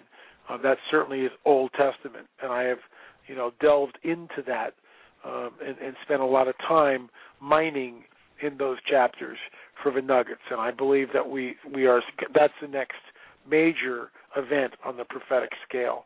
We will see the Confederacy of Nations go up against Israel, a land of unwalled villages. We will see um, horrific um, um, events that will happen in the Middle East because of that. Well, and I don't know. Um, I can't say exactly what country it is because it would put them at risk. But I see God going in and opening up doors that supposedly cannot be opened. There are nations that have been on the news that have very limited internet access. They're really cranking down on them, you know, not wanting people to have access. And yet we're finding that our ministry training school and our broadcasts here have more at least twice as many, this is thousands of people more in closed countries listening than US or all of the free countries combined. Wow. That people want to hear, they want to know, and maybe some Westerners don't want to know what's going on and they want to pretend everything's okay. But people in other countries, in third world countries, in closed countries, they know something's going on. They've been going through tribulation already, as far as they can tell, and they want to know what the Bible says about the end times. And and and what's fascinating about this, um, and I'll just use this as an example. Uh, there's a gentleman who um, wrote a scathing article. I think it was picked up by Huffington Post or some other places, and um, I blogged about it on my blog. Which, by the way, I blog six days a week, and and I, I talked about this guy, and and it's unfortunate because he has he's the heir of a legacy, um, and his father was extremely well known in Christian circles and very, very prolific author, and uh, wrote some wonderful uh, apologetic books. But this, the son apparently is just not really interested uh, in in prophecy and just sort of you know poo-pooed it and and looked at Hal Lindsey's work and and made fun of it. And and the promise, you know, the, the bottom line rather is this: that we can say, and and the Bible warned us of this in Second Peter. You know, the scoffers will come in the last days say, "Where is the where is the excuse me? Where is the promise of mm-hmm. His coming? Where is the promise? We've heard all this before." I'm paraphrasing here. I mean, we've heard this from Hal Lindsey, you know, 30, 40 years ago. I mean, it's like, you know, like a plan where I mean, it's like, okay, it's, it's we're 40 years out now, and where's the promise of his coming? I mean, how many more times do we have to listen to this stuff? Where's the promise? You know, uh, and see that that's the problem. And people are willfully, I mean, I mean, underline that word, willfully ignorant of the times we are living in, because you know the Lord is is slow to anger, and He waits and he waits and he waits some more. He's really slow. He's incredibly patient. And right. he wants everyone to be saved and he wants everyone to come in. He doesn't want anyone to perish. No one. Thus he's slow to anger.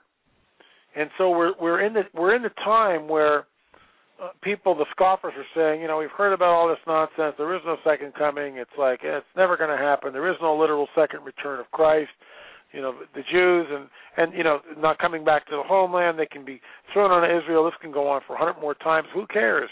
And see, with that with that attitude in mind, um, I don't believe a person can ever understand what the scriptures talk about, or certainly will never come to an understanding of the days, the times which we are living in, because the mm-hmm. times, the promise of His coming is real, and it hinges around Israel, and the signs are all here the wars and rumors of wars, famines and pestilence, earthquakes in diverse places, troublesome times. They're all here. It's all happening right in front of our noses. But you know, many people look. You look at the news on at six o'clock, at Fox, CNN, whoever you want to look at. You don't get any of this stuff. They don't talk mm-hmm. about this stuff. You never hear about the famines in, in in let's say Ethiopia and the Sudan or other places, in Niger and all throughout Africa. We never hear of like the persecution of Christians specifically in Middle East countries, even in Iraq right now, where Christians are being threatened. I mean, give me a break. It's hap- What about the earthquakes on a global scale that happened between six point or you know, basically it's hundreds and hundreds of earthquakes, more than we've ever seen before, and many of them reaching 7.2 or higher on the Richter scale. Then we see the volcanoes, the Eyjafjallajökull volcano in Iceland, and now there's a new volcano which is near Eyjafjallajökull and Katla, that if it blows, they're saying this thing could be like, look out. The Indonesia volcano, which is erupted, plus the plus the um, uh, uh, the earthquakes in in that part of the world, not only in Indonesia but but um, excuse me, in Australia, and in other places in in in that uh, what in Christchurch, uh, the seven point what was it seven point eight in Christchurch, New Zealand, a few weeks back. I mean, give me a break. It's like every single week. Gulf oil spill. You don't think that's a troublesome time, which may have actually stalled the Gulf current as we know it? The marine life from that unprecedented. It, the rivers were so cold in, in Bolivia that there was this summer that there was a die-off of millions of aquatic life, dolphins, manta rays, tens and thousands of fish, hundreds of thousands of fish alligators just floating in these rivers. Same thing in New Orleans, thousands and thousands of fish floating in the river. It looked like a, a, a cracked asphalt highway that had been baked in the sun, all dead fish. Thousands of dead fish washing up uh, against New Jersey. The coral all dying off and the coral reefs all around the Gulf. I mean, give me a break, guys. You think this is business as usual? You really think it's business as usual? And then we look at the wars and rumors of wars which are happening in the Middle East. Right? What do we hear constantly? The saber rattling, rumors of war, rumors of war, the saber rattling that continues unabated in the Middle East. And when that thing goes, it's World War Three. So all this was written, and what does it say? It say when you see these things, right. what things? The things I just talked about: wars, rumors of wars, famines and pestilence, um, earthquakes in diverse places, and troublesome times. When you see these things, look up Because why? Because the second coming is about to happen. It goes back to what I was saying. Where is the promise of his coming? Here's the promise of his coming. He is coming. And his feet will descend on the Mount of Olives. And that baby will split in two, literally. It's not metaphor. It's not allegory. Literally, that puppy will split in two. That's right. And for our listeners that don't know where these verses are, for one thing, you can find the whole list that he's referring to, and then this will happen, and then this will happen, and this this will happen in Matthew 24. But a very similar list, if you want to compare that, um, is also in Mark 13, my Luke chart 21. Here. Right, Mark 13 and Luke 21. You can see that you know more than one inspired apostle recorded these things, and it's it's clear. It says, "And then this will happen, and then this will happen." These are time words. It doesn't mean that um, you know it will happen in just any kind of order. And you will notice that there is a second coming, but unfortunately, it's toward the end of the chapter. you know, we would like it to be the first thing in the chapter. What this tells me is we are supposed to be His love to the people around us, here and now, in the midst of these things. We're supposed to be His compassion to people around us, and this is our opportunity. This is a stage set for us to share Jesus Christ, why He came, why we need Him, and why He died, and why we all need a Savior. Amen. Good word. Well, what about? Can I ask you a specific question about the Jewish Please. temple? Um, you know, some people are saying, well, this is the temple that we are. This is not a literal temple being rebuilt. Do you have an opinion on that? Yeah, absolutely. Um, once again, uh, a person who holds that uh, tenet, and look, I believe that we are the temple of a living God. I got all that right. Okay, I got it. The Christians, no problem, got all that. But we need to understand that we're dealing with the 70th week of Daniel, and we have to realize that the Antichrist will set himself up. The whole end game, everything points, the mystery of iniquity that Paul talks about that's been working for thousands and thousands of years, the five I wills that Satan says in Isaiah, I will ascend, you know, I, I will um, ascend to the heavens, I will be like the Most High, I will seat myself to be worshipped as God. All everything points to the end game, the Luciferian end game, is the Antichrist, the seat of Satan, literally setting himself up in the rebuilt temple in Jerusalem to be worshipped. That's where it's all going. Where Satan's seat is right now, Jerusalem. That's where it is. Satan's seat is in Jerusalem. Absolutely in Jerusalem. That's where he reigns from at the moment. Because at some point in time, the Antichrist will come riding in. And at some point in time, he will reinstall the Antichrist to be worshipped. Worshipped. The temple will be rebuilt. The Jews already have, have got the stones cut out. They've already got the, the temple implements. So it, it's both. You see, it's like, yeah, I'm the temple of a living God. I got that. Sure, right, got it. The real temple on Jerusalem will be rebuilt because the Jews need it because the Antichrist has to go there. And it will happen. And the guy who cuts the deal, the guy who cuts the deal to rebuild a third temple in Jerusalem is none other than the Antichrist himself. Which leads us down a whole set of interesting hypotheses. Right. Because about the time some of our listeners might be thinking, well, this buys us some more time because the temple hasn't been rebuilt yet. What would you say to that? Well, I would say that, it's true that it hasn't been rebuilt yet, but we know that it's, it's probably a bargaining chip.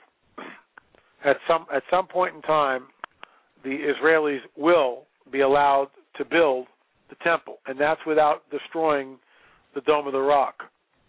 They will they will they won't have to. st- Um, in other words, the mosque, the Dome of the Rock, will remain intact. And what they'll more than likely do is, is put up a wall between the Dome of the Rock and the new built or the newly constructed temple in Jerusalem, which also fulfills another prophecy in Isaiah talking or Ezekiel rather talking about the outer court is given unto the Gentiles and is profaned, which which fulfill that prophecy. You see, the Temple Mount is 40 acres. It's a huge complex. There's plenty of room for two edifices on that Temple Mount. The Jews want the temple built. the Muslims will go to war over it, which is just incredible when you think about all this stuff. It's just mind-boggling, mind-boggling how all this stuff plays out. Because if you were to tell anybody, hey, uh, what are, what are the odds that the Jews are going to rebuild the third temple on the Temple Mount? You see, and if they don't know prophecy, they'll give you a thousand to one odds. That's never going to happen. There's no way. There's no way in in a month of Sundays that that's ever going to happen. It's never going to happen. But Scripture tells us it will. The third temple will be rebuilt. Absolutely will be rebuilt. And we know that the Israelis have to have the high priests have to have the ashes of a red heifer to even set foot on the Temple Mount. And some of us believe that those ashes were discovered and the, and the priests know about them. They've had them. There's also talk of a red heifer, um, a spotless red heifer in Israel. So I mean, all this stuff it gets. It's just you see, we on Christian Christianity uncoupled ourselves from Judaism at the fall of Jerusalem at the fall of uh, Jerusalem in AD 70. It, we really uncoupled from from Judaism uh, up up up until that point the church was centered in Jerusalem. The apostles remained in Jerusalem. They worshiped where? And this is what people don't get. They worship at the temple. Mm-hmm. Why? Because Shekinah glory was in the temple. The ark wasn't, but Shekinah was. And the rabbis have actually documented when Shekinah left, which was six months before AD 70. Romans Romans came in and destroyed everything. And we hear the apocryphal story of the Christians leaving Jerusalem in front of our eyes. And again, I say yes to all of that. And even a blind man would have to admit there's two or three things that have always been the centerpieces of history, and that's the Middle East. That's Jesus Christ, probably should have been number one, always comes back to be the centerpiece of events, and Israel. It's always coming back to that. And the conflict that started between Israel um, and the whole Middle East thousands of years ago. And we see exactly what's what what's happening today. that all eyes are on Jerusalem, all eyes are on Israel. That we see the prophecies of Ezekiel 37 being fulfilled, where the Jews have been regathered from the four corners of the earth and reestablished in their ancient homeland. Absolutely unprecedented in all of all of history. No, no other nation has ever come close to doing anything remotely like Israel. Can the nation be born a day, in a day? Isaiah tells us. Well, yes, it can be, and it was. Ezekiel 37. Can these dry bones be knit back together? Yes, it will be. And that's exactly what we see. Gathered from the four corners of the earth, reestablished in their homeland, and what's interesting is that there's a double whammy there because Yeshua, Jesus mentions that Jerusalem will be trodden over by the Gentiles until the de- time of the Gentiles is over. And we know that the time of the Gentiles ended in 1967 when the Jews finally retook the old city of Jerusalem. And the Israeli flag ran over the Temple Mount for a period of time before they ceded it, the control of the temple back back to the Waqf, W-A-Q-F, and allowed the Muslims to keep the Dome of the Rock. Had they pushed, all hell would have broken loose in, the Muslim world, but they didn't. And when Jesus tells us that prophecy that Jerusalem will be trodden over by the Gentiles until the time of the Gentiles was over, that's almost 2,000 years ago. And we know in AD 70, Titus and the crew came in, and uh, and that's the Romans, and the Romans took control of the old city. And then we see that that the Romans basically hold that area till the the Muslims come in around 750. They hold it till about 1,000 when the when the European Crusaders come in, and they hold it to about 1,200. These are all non-Jewish. These are Gentile people controlling the city. Okay, the Jews have been scattered throughout the four corners of the earth. After the Crusaders, Saladin in 1200 retakes the old city of Jerusalem. Once again, puts it under Muslim hands. Then the Mamelukes come in and hold it from about 1200 to mm, 1600, somewhere in that time, about 1500. They hold it for a while. Finally, the Ottoman Turks come in and they hold Jerusalem and control Jerusalem for about 400 years until the after World War One, when the Brits take it over. And then the Jordanians finally take it over, and finally in 1967, the Jews recapture the old city of Jerusalem from the Jordanians, thus ending and fulfilling that 2,000 year old prophecy by Yeshua Jesus that that Jerusalem would be trampled by the Gentiles until the time of the Gentiles is over. It's over. The Israelis now control the old city. So we see that prophecy, you see, if you knew that prophecy, then in 1967, when you saw it happen, you'd right. fall off your chair. But mm-hmm. if you mm-hmm. didn't know the prophecy, you're the guy sitting in that baseball game with the blindfold on. You have no idea what's going on. Why is the crowd cheering? Something just happened, but you're not sure what. Right, right. Well, it's very interesting to me. I did my paper, Lynn, and um when I was in Tulane, I won't say exactly what year that was, in the 70s, I did my paper on eschatology. And it's amazing to me that people still spend most of their time trying to decide when we get to escape, you know, when is the rapture. So I'm not saying let's go there, but the Bible is not not clear on that. It makes it clear that it's not going to be clear on that. And what we're to do is to learn how to be effective witnesses, expressions, demonstrations of Jesus Christ and deal with things now. And I tell people you're not rapture ready anyway unless you've told everybody you know about Jesus. So don't be rushing it because you're not ready. You're going to be embarrassed. What we need to do is look at what God is doing on the earth. And tonight I think you're going to share a lot of light, illuminate scripture, give us revelation of what God is doing, what he wants to do.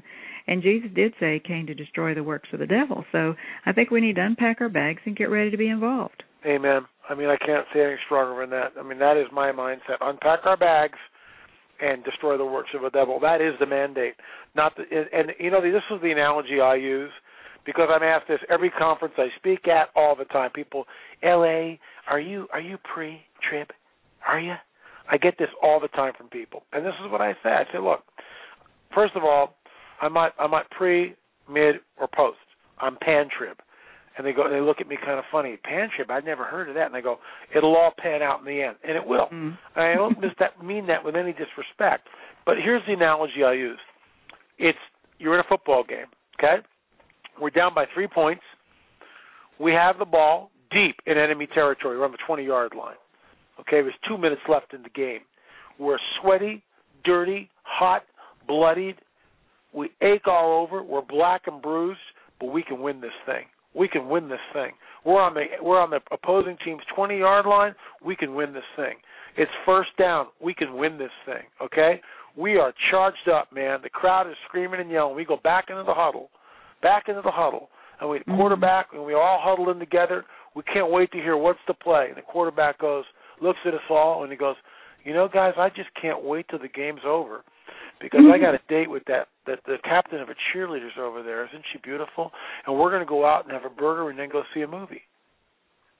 And we sit there and go, "What? Huh? Are you, have you lost your mind? What are you talking about? We can Not win this thing." And that's right. that's the people who are looking, in my opinion, for and so obsessed with the rapture. They're not in the game. You know, it's none of our business, and and people argue this incessantly. They, I mean, even on my blog site, we get into this thing. I have to bring, I have to bring correction and go, you know, knock it off. Who cares? You don't know. If we're intellectually honest, no one knows. No one knows.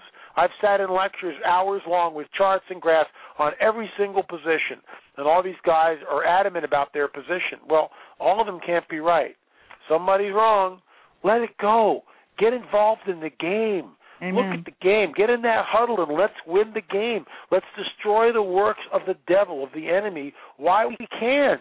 Because once he once he shows up with all the great signs and lying wonders, it's going to be really hard at that point. Really hard. Well, it's received the compassion of Jesus Christ for people, not just for ourselves. If us and our family are saved and we're fine, so let's go.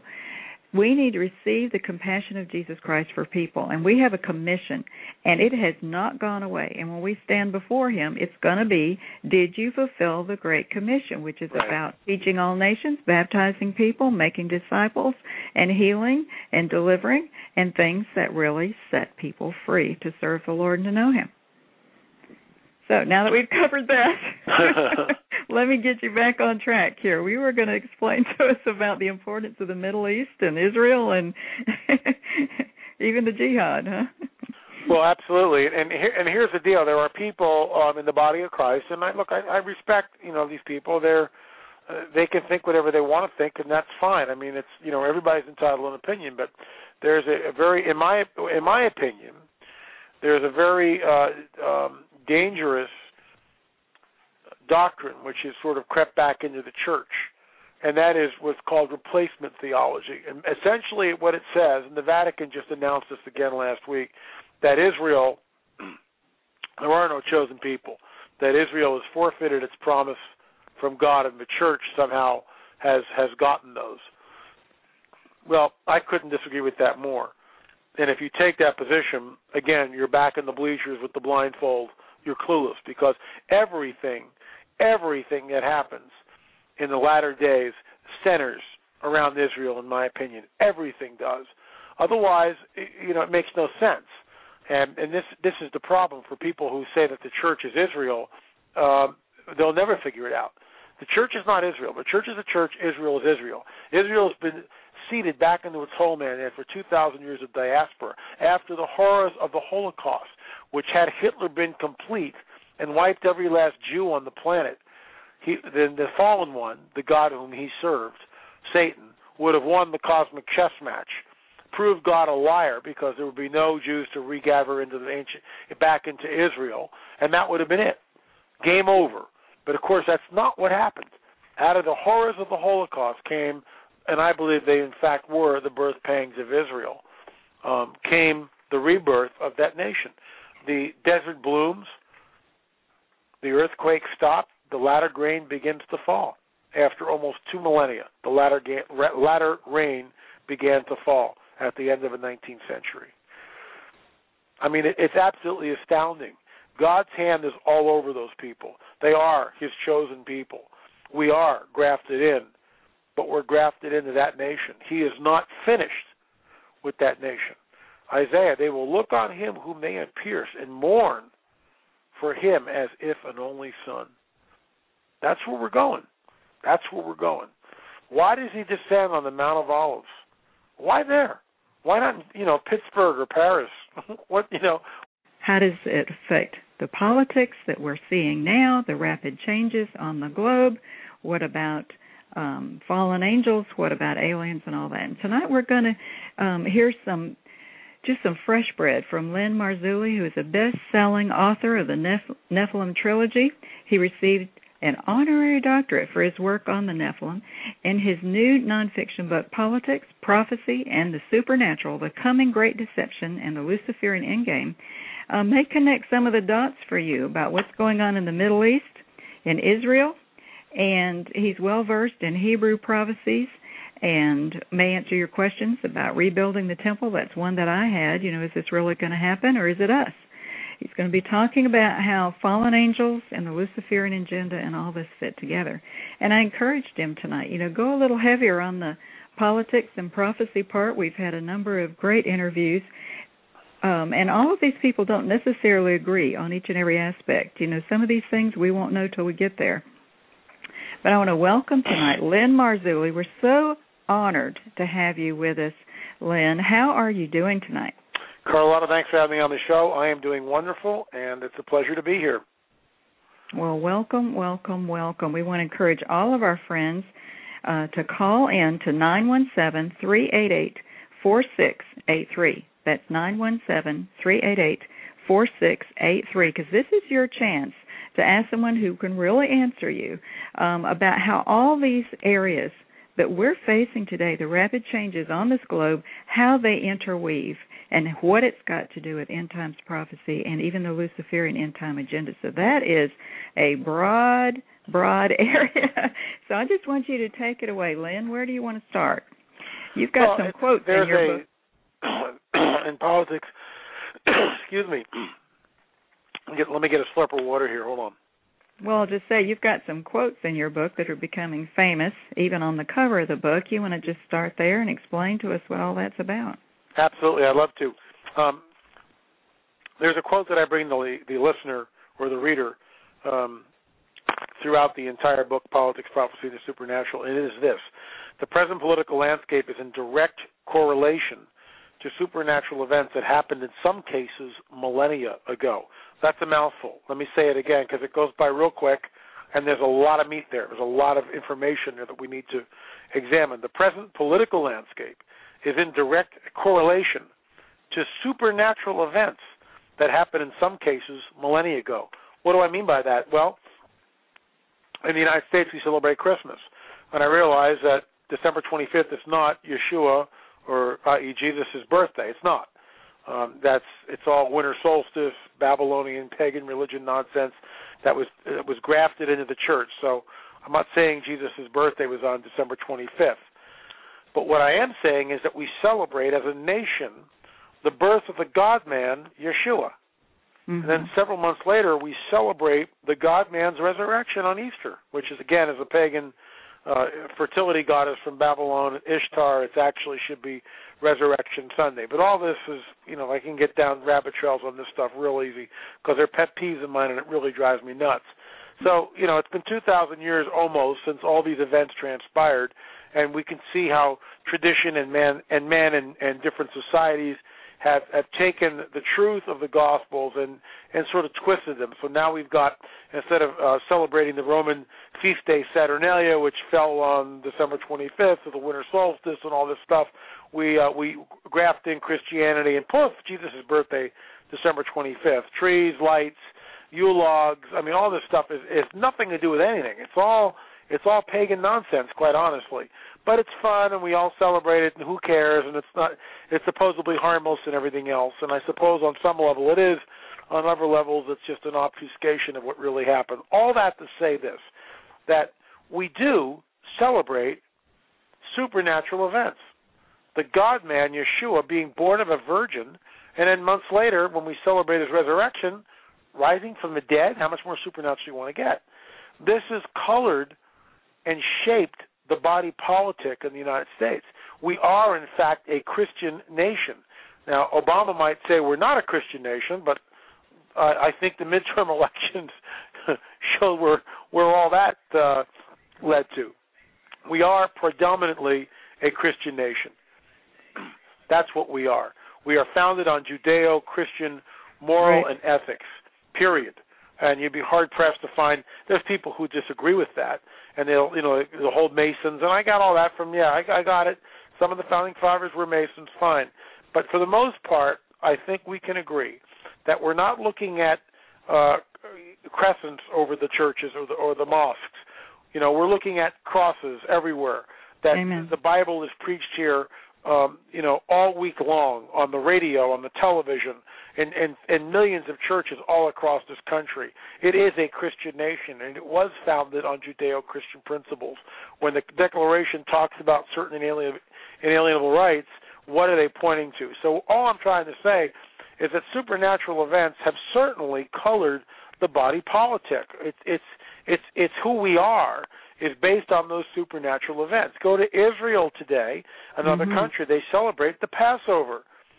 Passover is a 4,000 year old celebration of what? The angel of death passing over the firstborn of the Israelis and killing the firstborn of the Egyptians. Finally, that one event, Pharaoh let go and the Israelites left Egypt. We know so we see that thousands of years later, the Israelis in Israel, the Jews in Israel celebrate Passover, and it's at the point where if you're riding a bike on Passover, you can be in trouble in certain segments of that city. I mean, they take this very seriously. Right.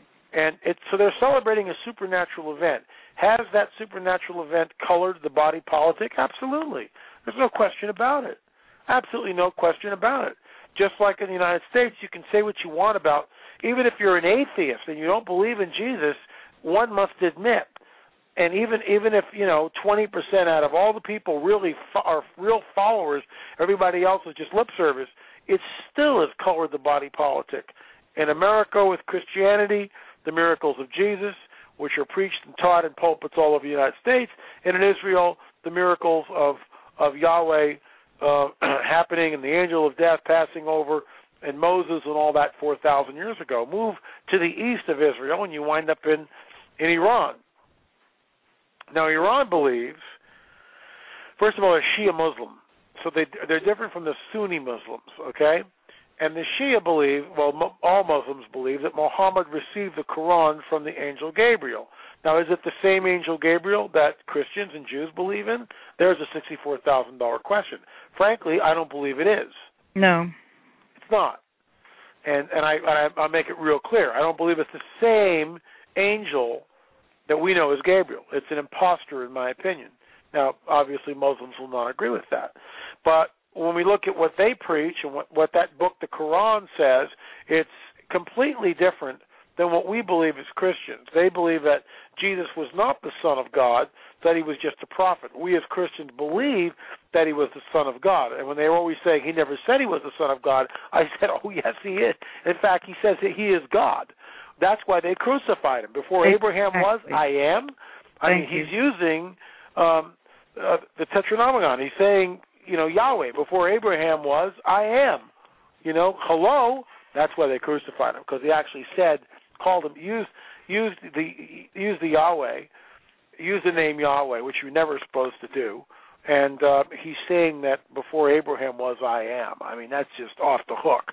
And that's why they rip their clothes and want to throw stones at him and try to kill him, because right. it's like that's blasphemy to the Jews. Well, you know, that's what we're looking at. So we can certainly agree that in the Muslim world in Iran, they are under Sharia law. What is Sharia law but what stems from belief in the Quran. So we see an entire nation, Iran, basing their body politic on supernatural events that allegedly happened to Muhammad 1300 years ago. I mean, and all that to say this, if supernatural events happened in the past, are they happening now? And the short answer to that is a resounding yes. Absolutely, they're happening now, all over the place. Most people don't understand um, prophecy that's written in the Christian Hebrew Bible. So without understanding prophecy, it's like going to a baseball game and not, you know, with a blindfold and trying to figure out what's going on just from the roar of the crowd. Good luck. Good luck. You'll never figure it out. You can't. You can't see the scoreboard. The announcer's not saying anything. The crowd, you don't know who's at bat, who, what even teams are playing. That's how blind the person is if he does have no knowledge of of Christian prophecy, Judeo-Christian prophecy. They're clueless.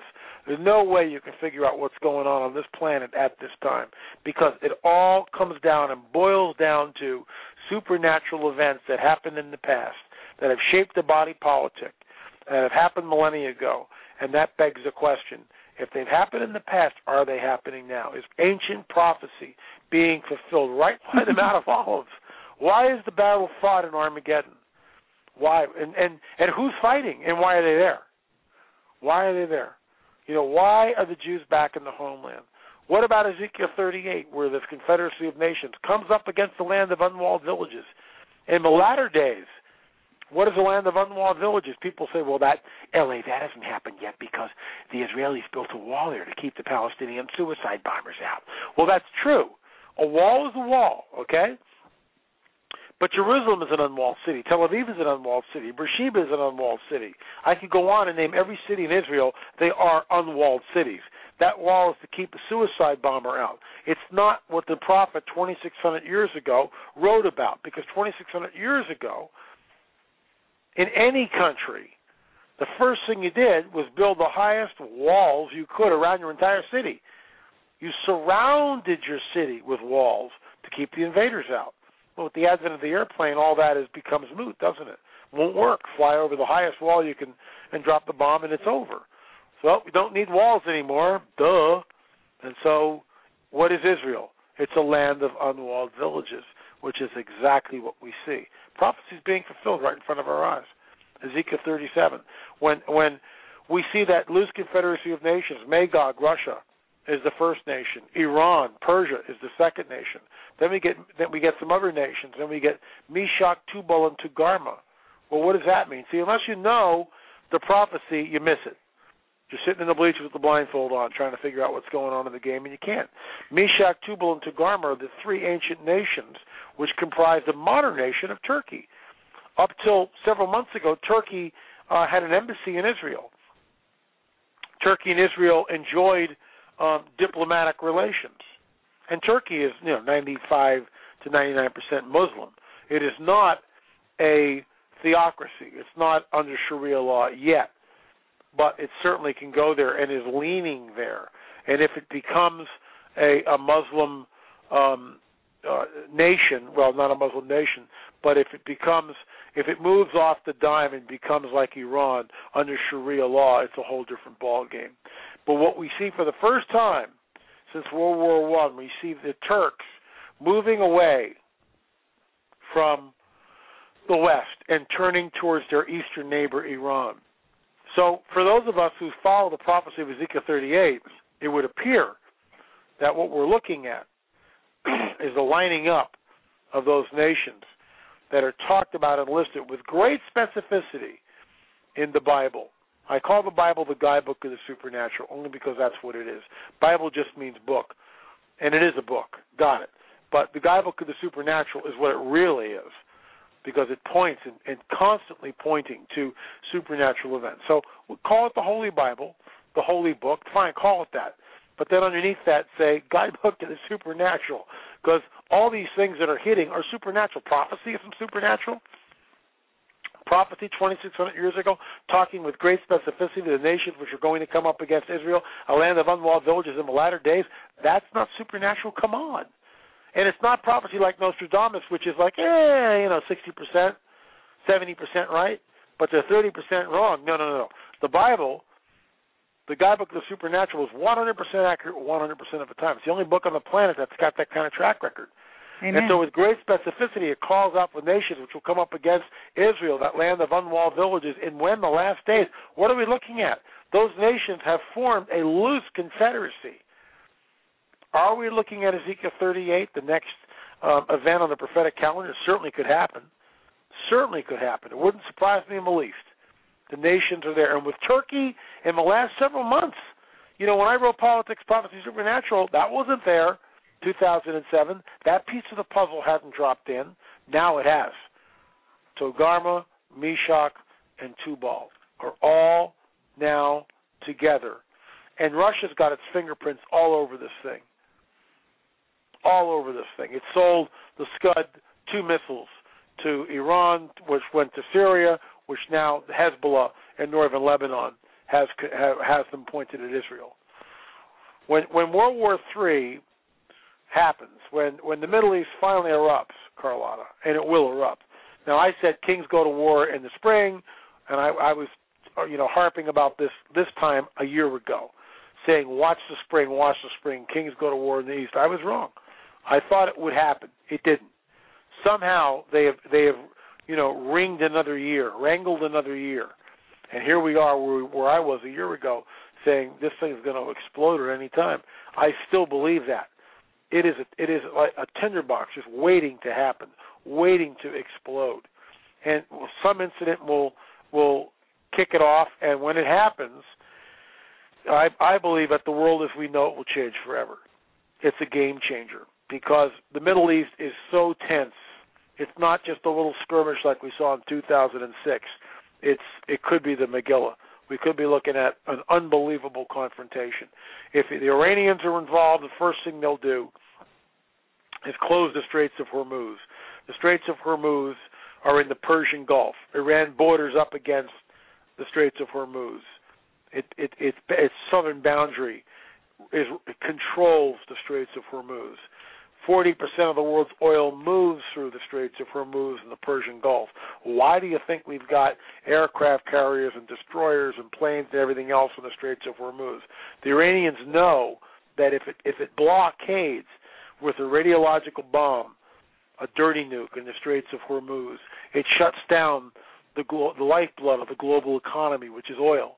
And if it does that, oil immediately goes up over $200 a barrel ten to fifteen, twenty dollars at the pump for a gallon. Who can afford that? If you can get it, who can afford it? See where it's going? And then the Iranians have have a double. It's like double jeopardy.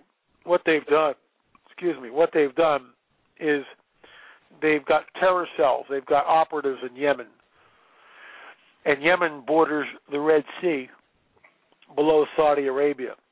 Another 30%, 40% of the oil goes through what is known as the Gate of Tears, a very narrow passageway, the Gate of Tears, in the bottom of the Red Sea.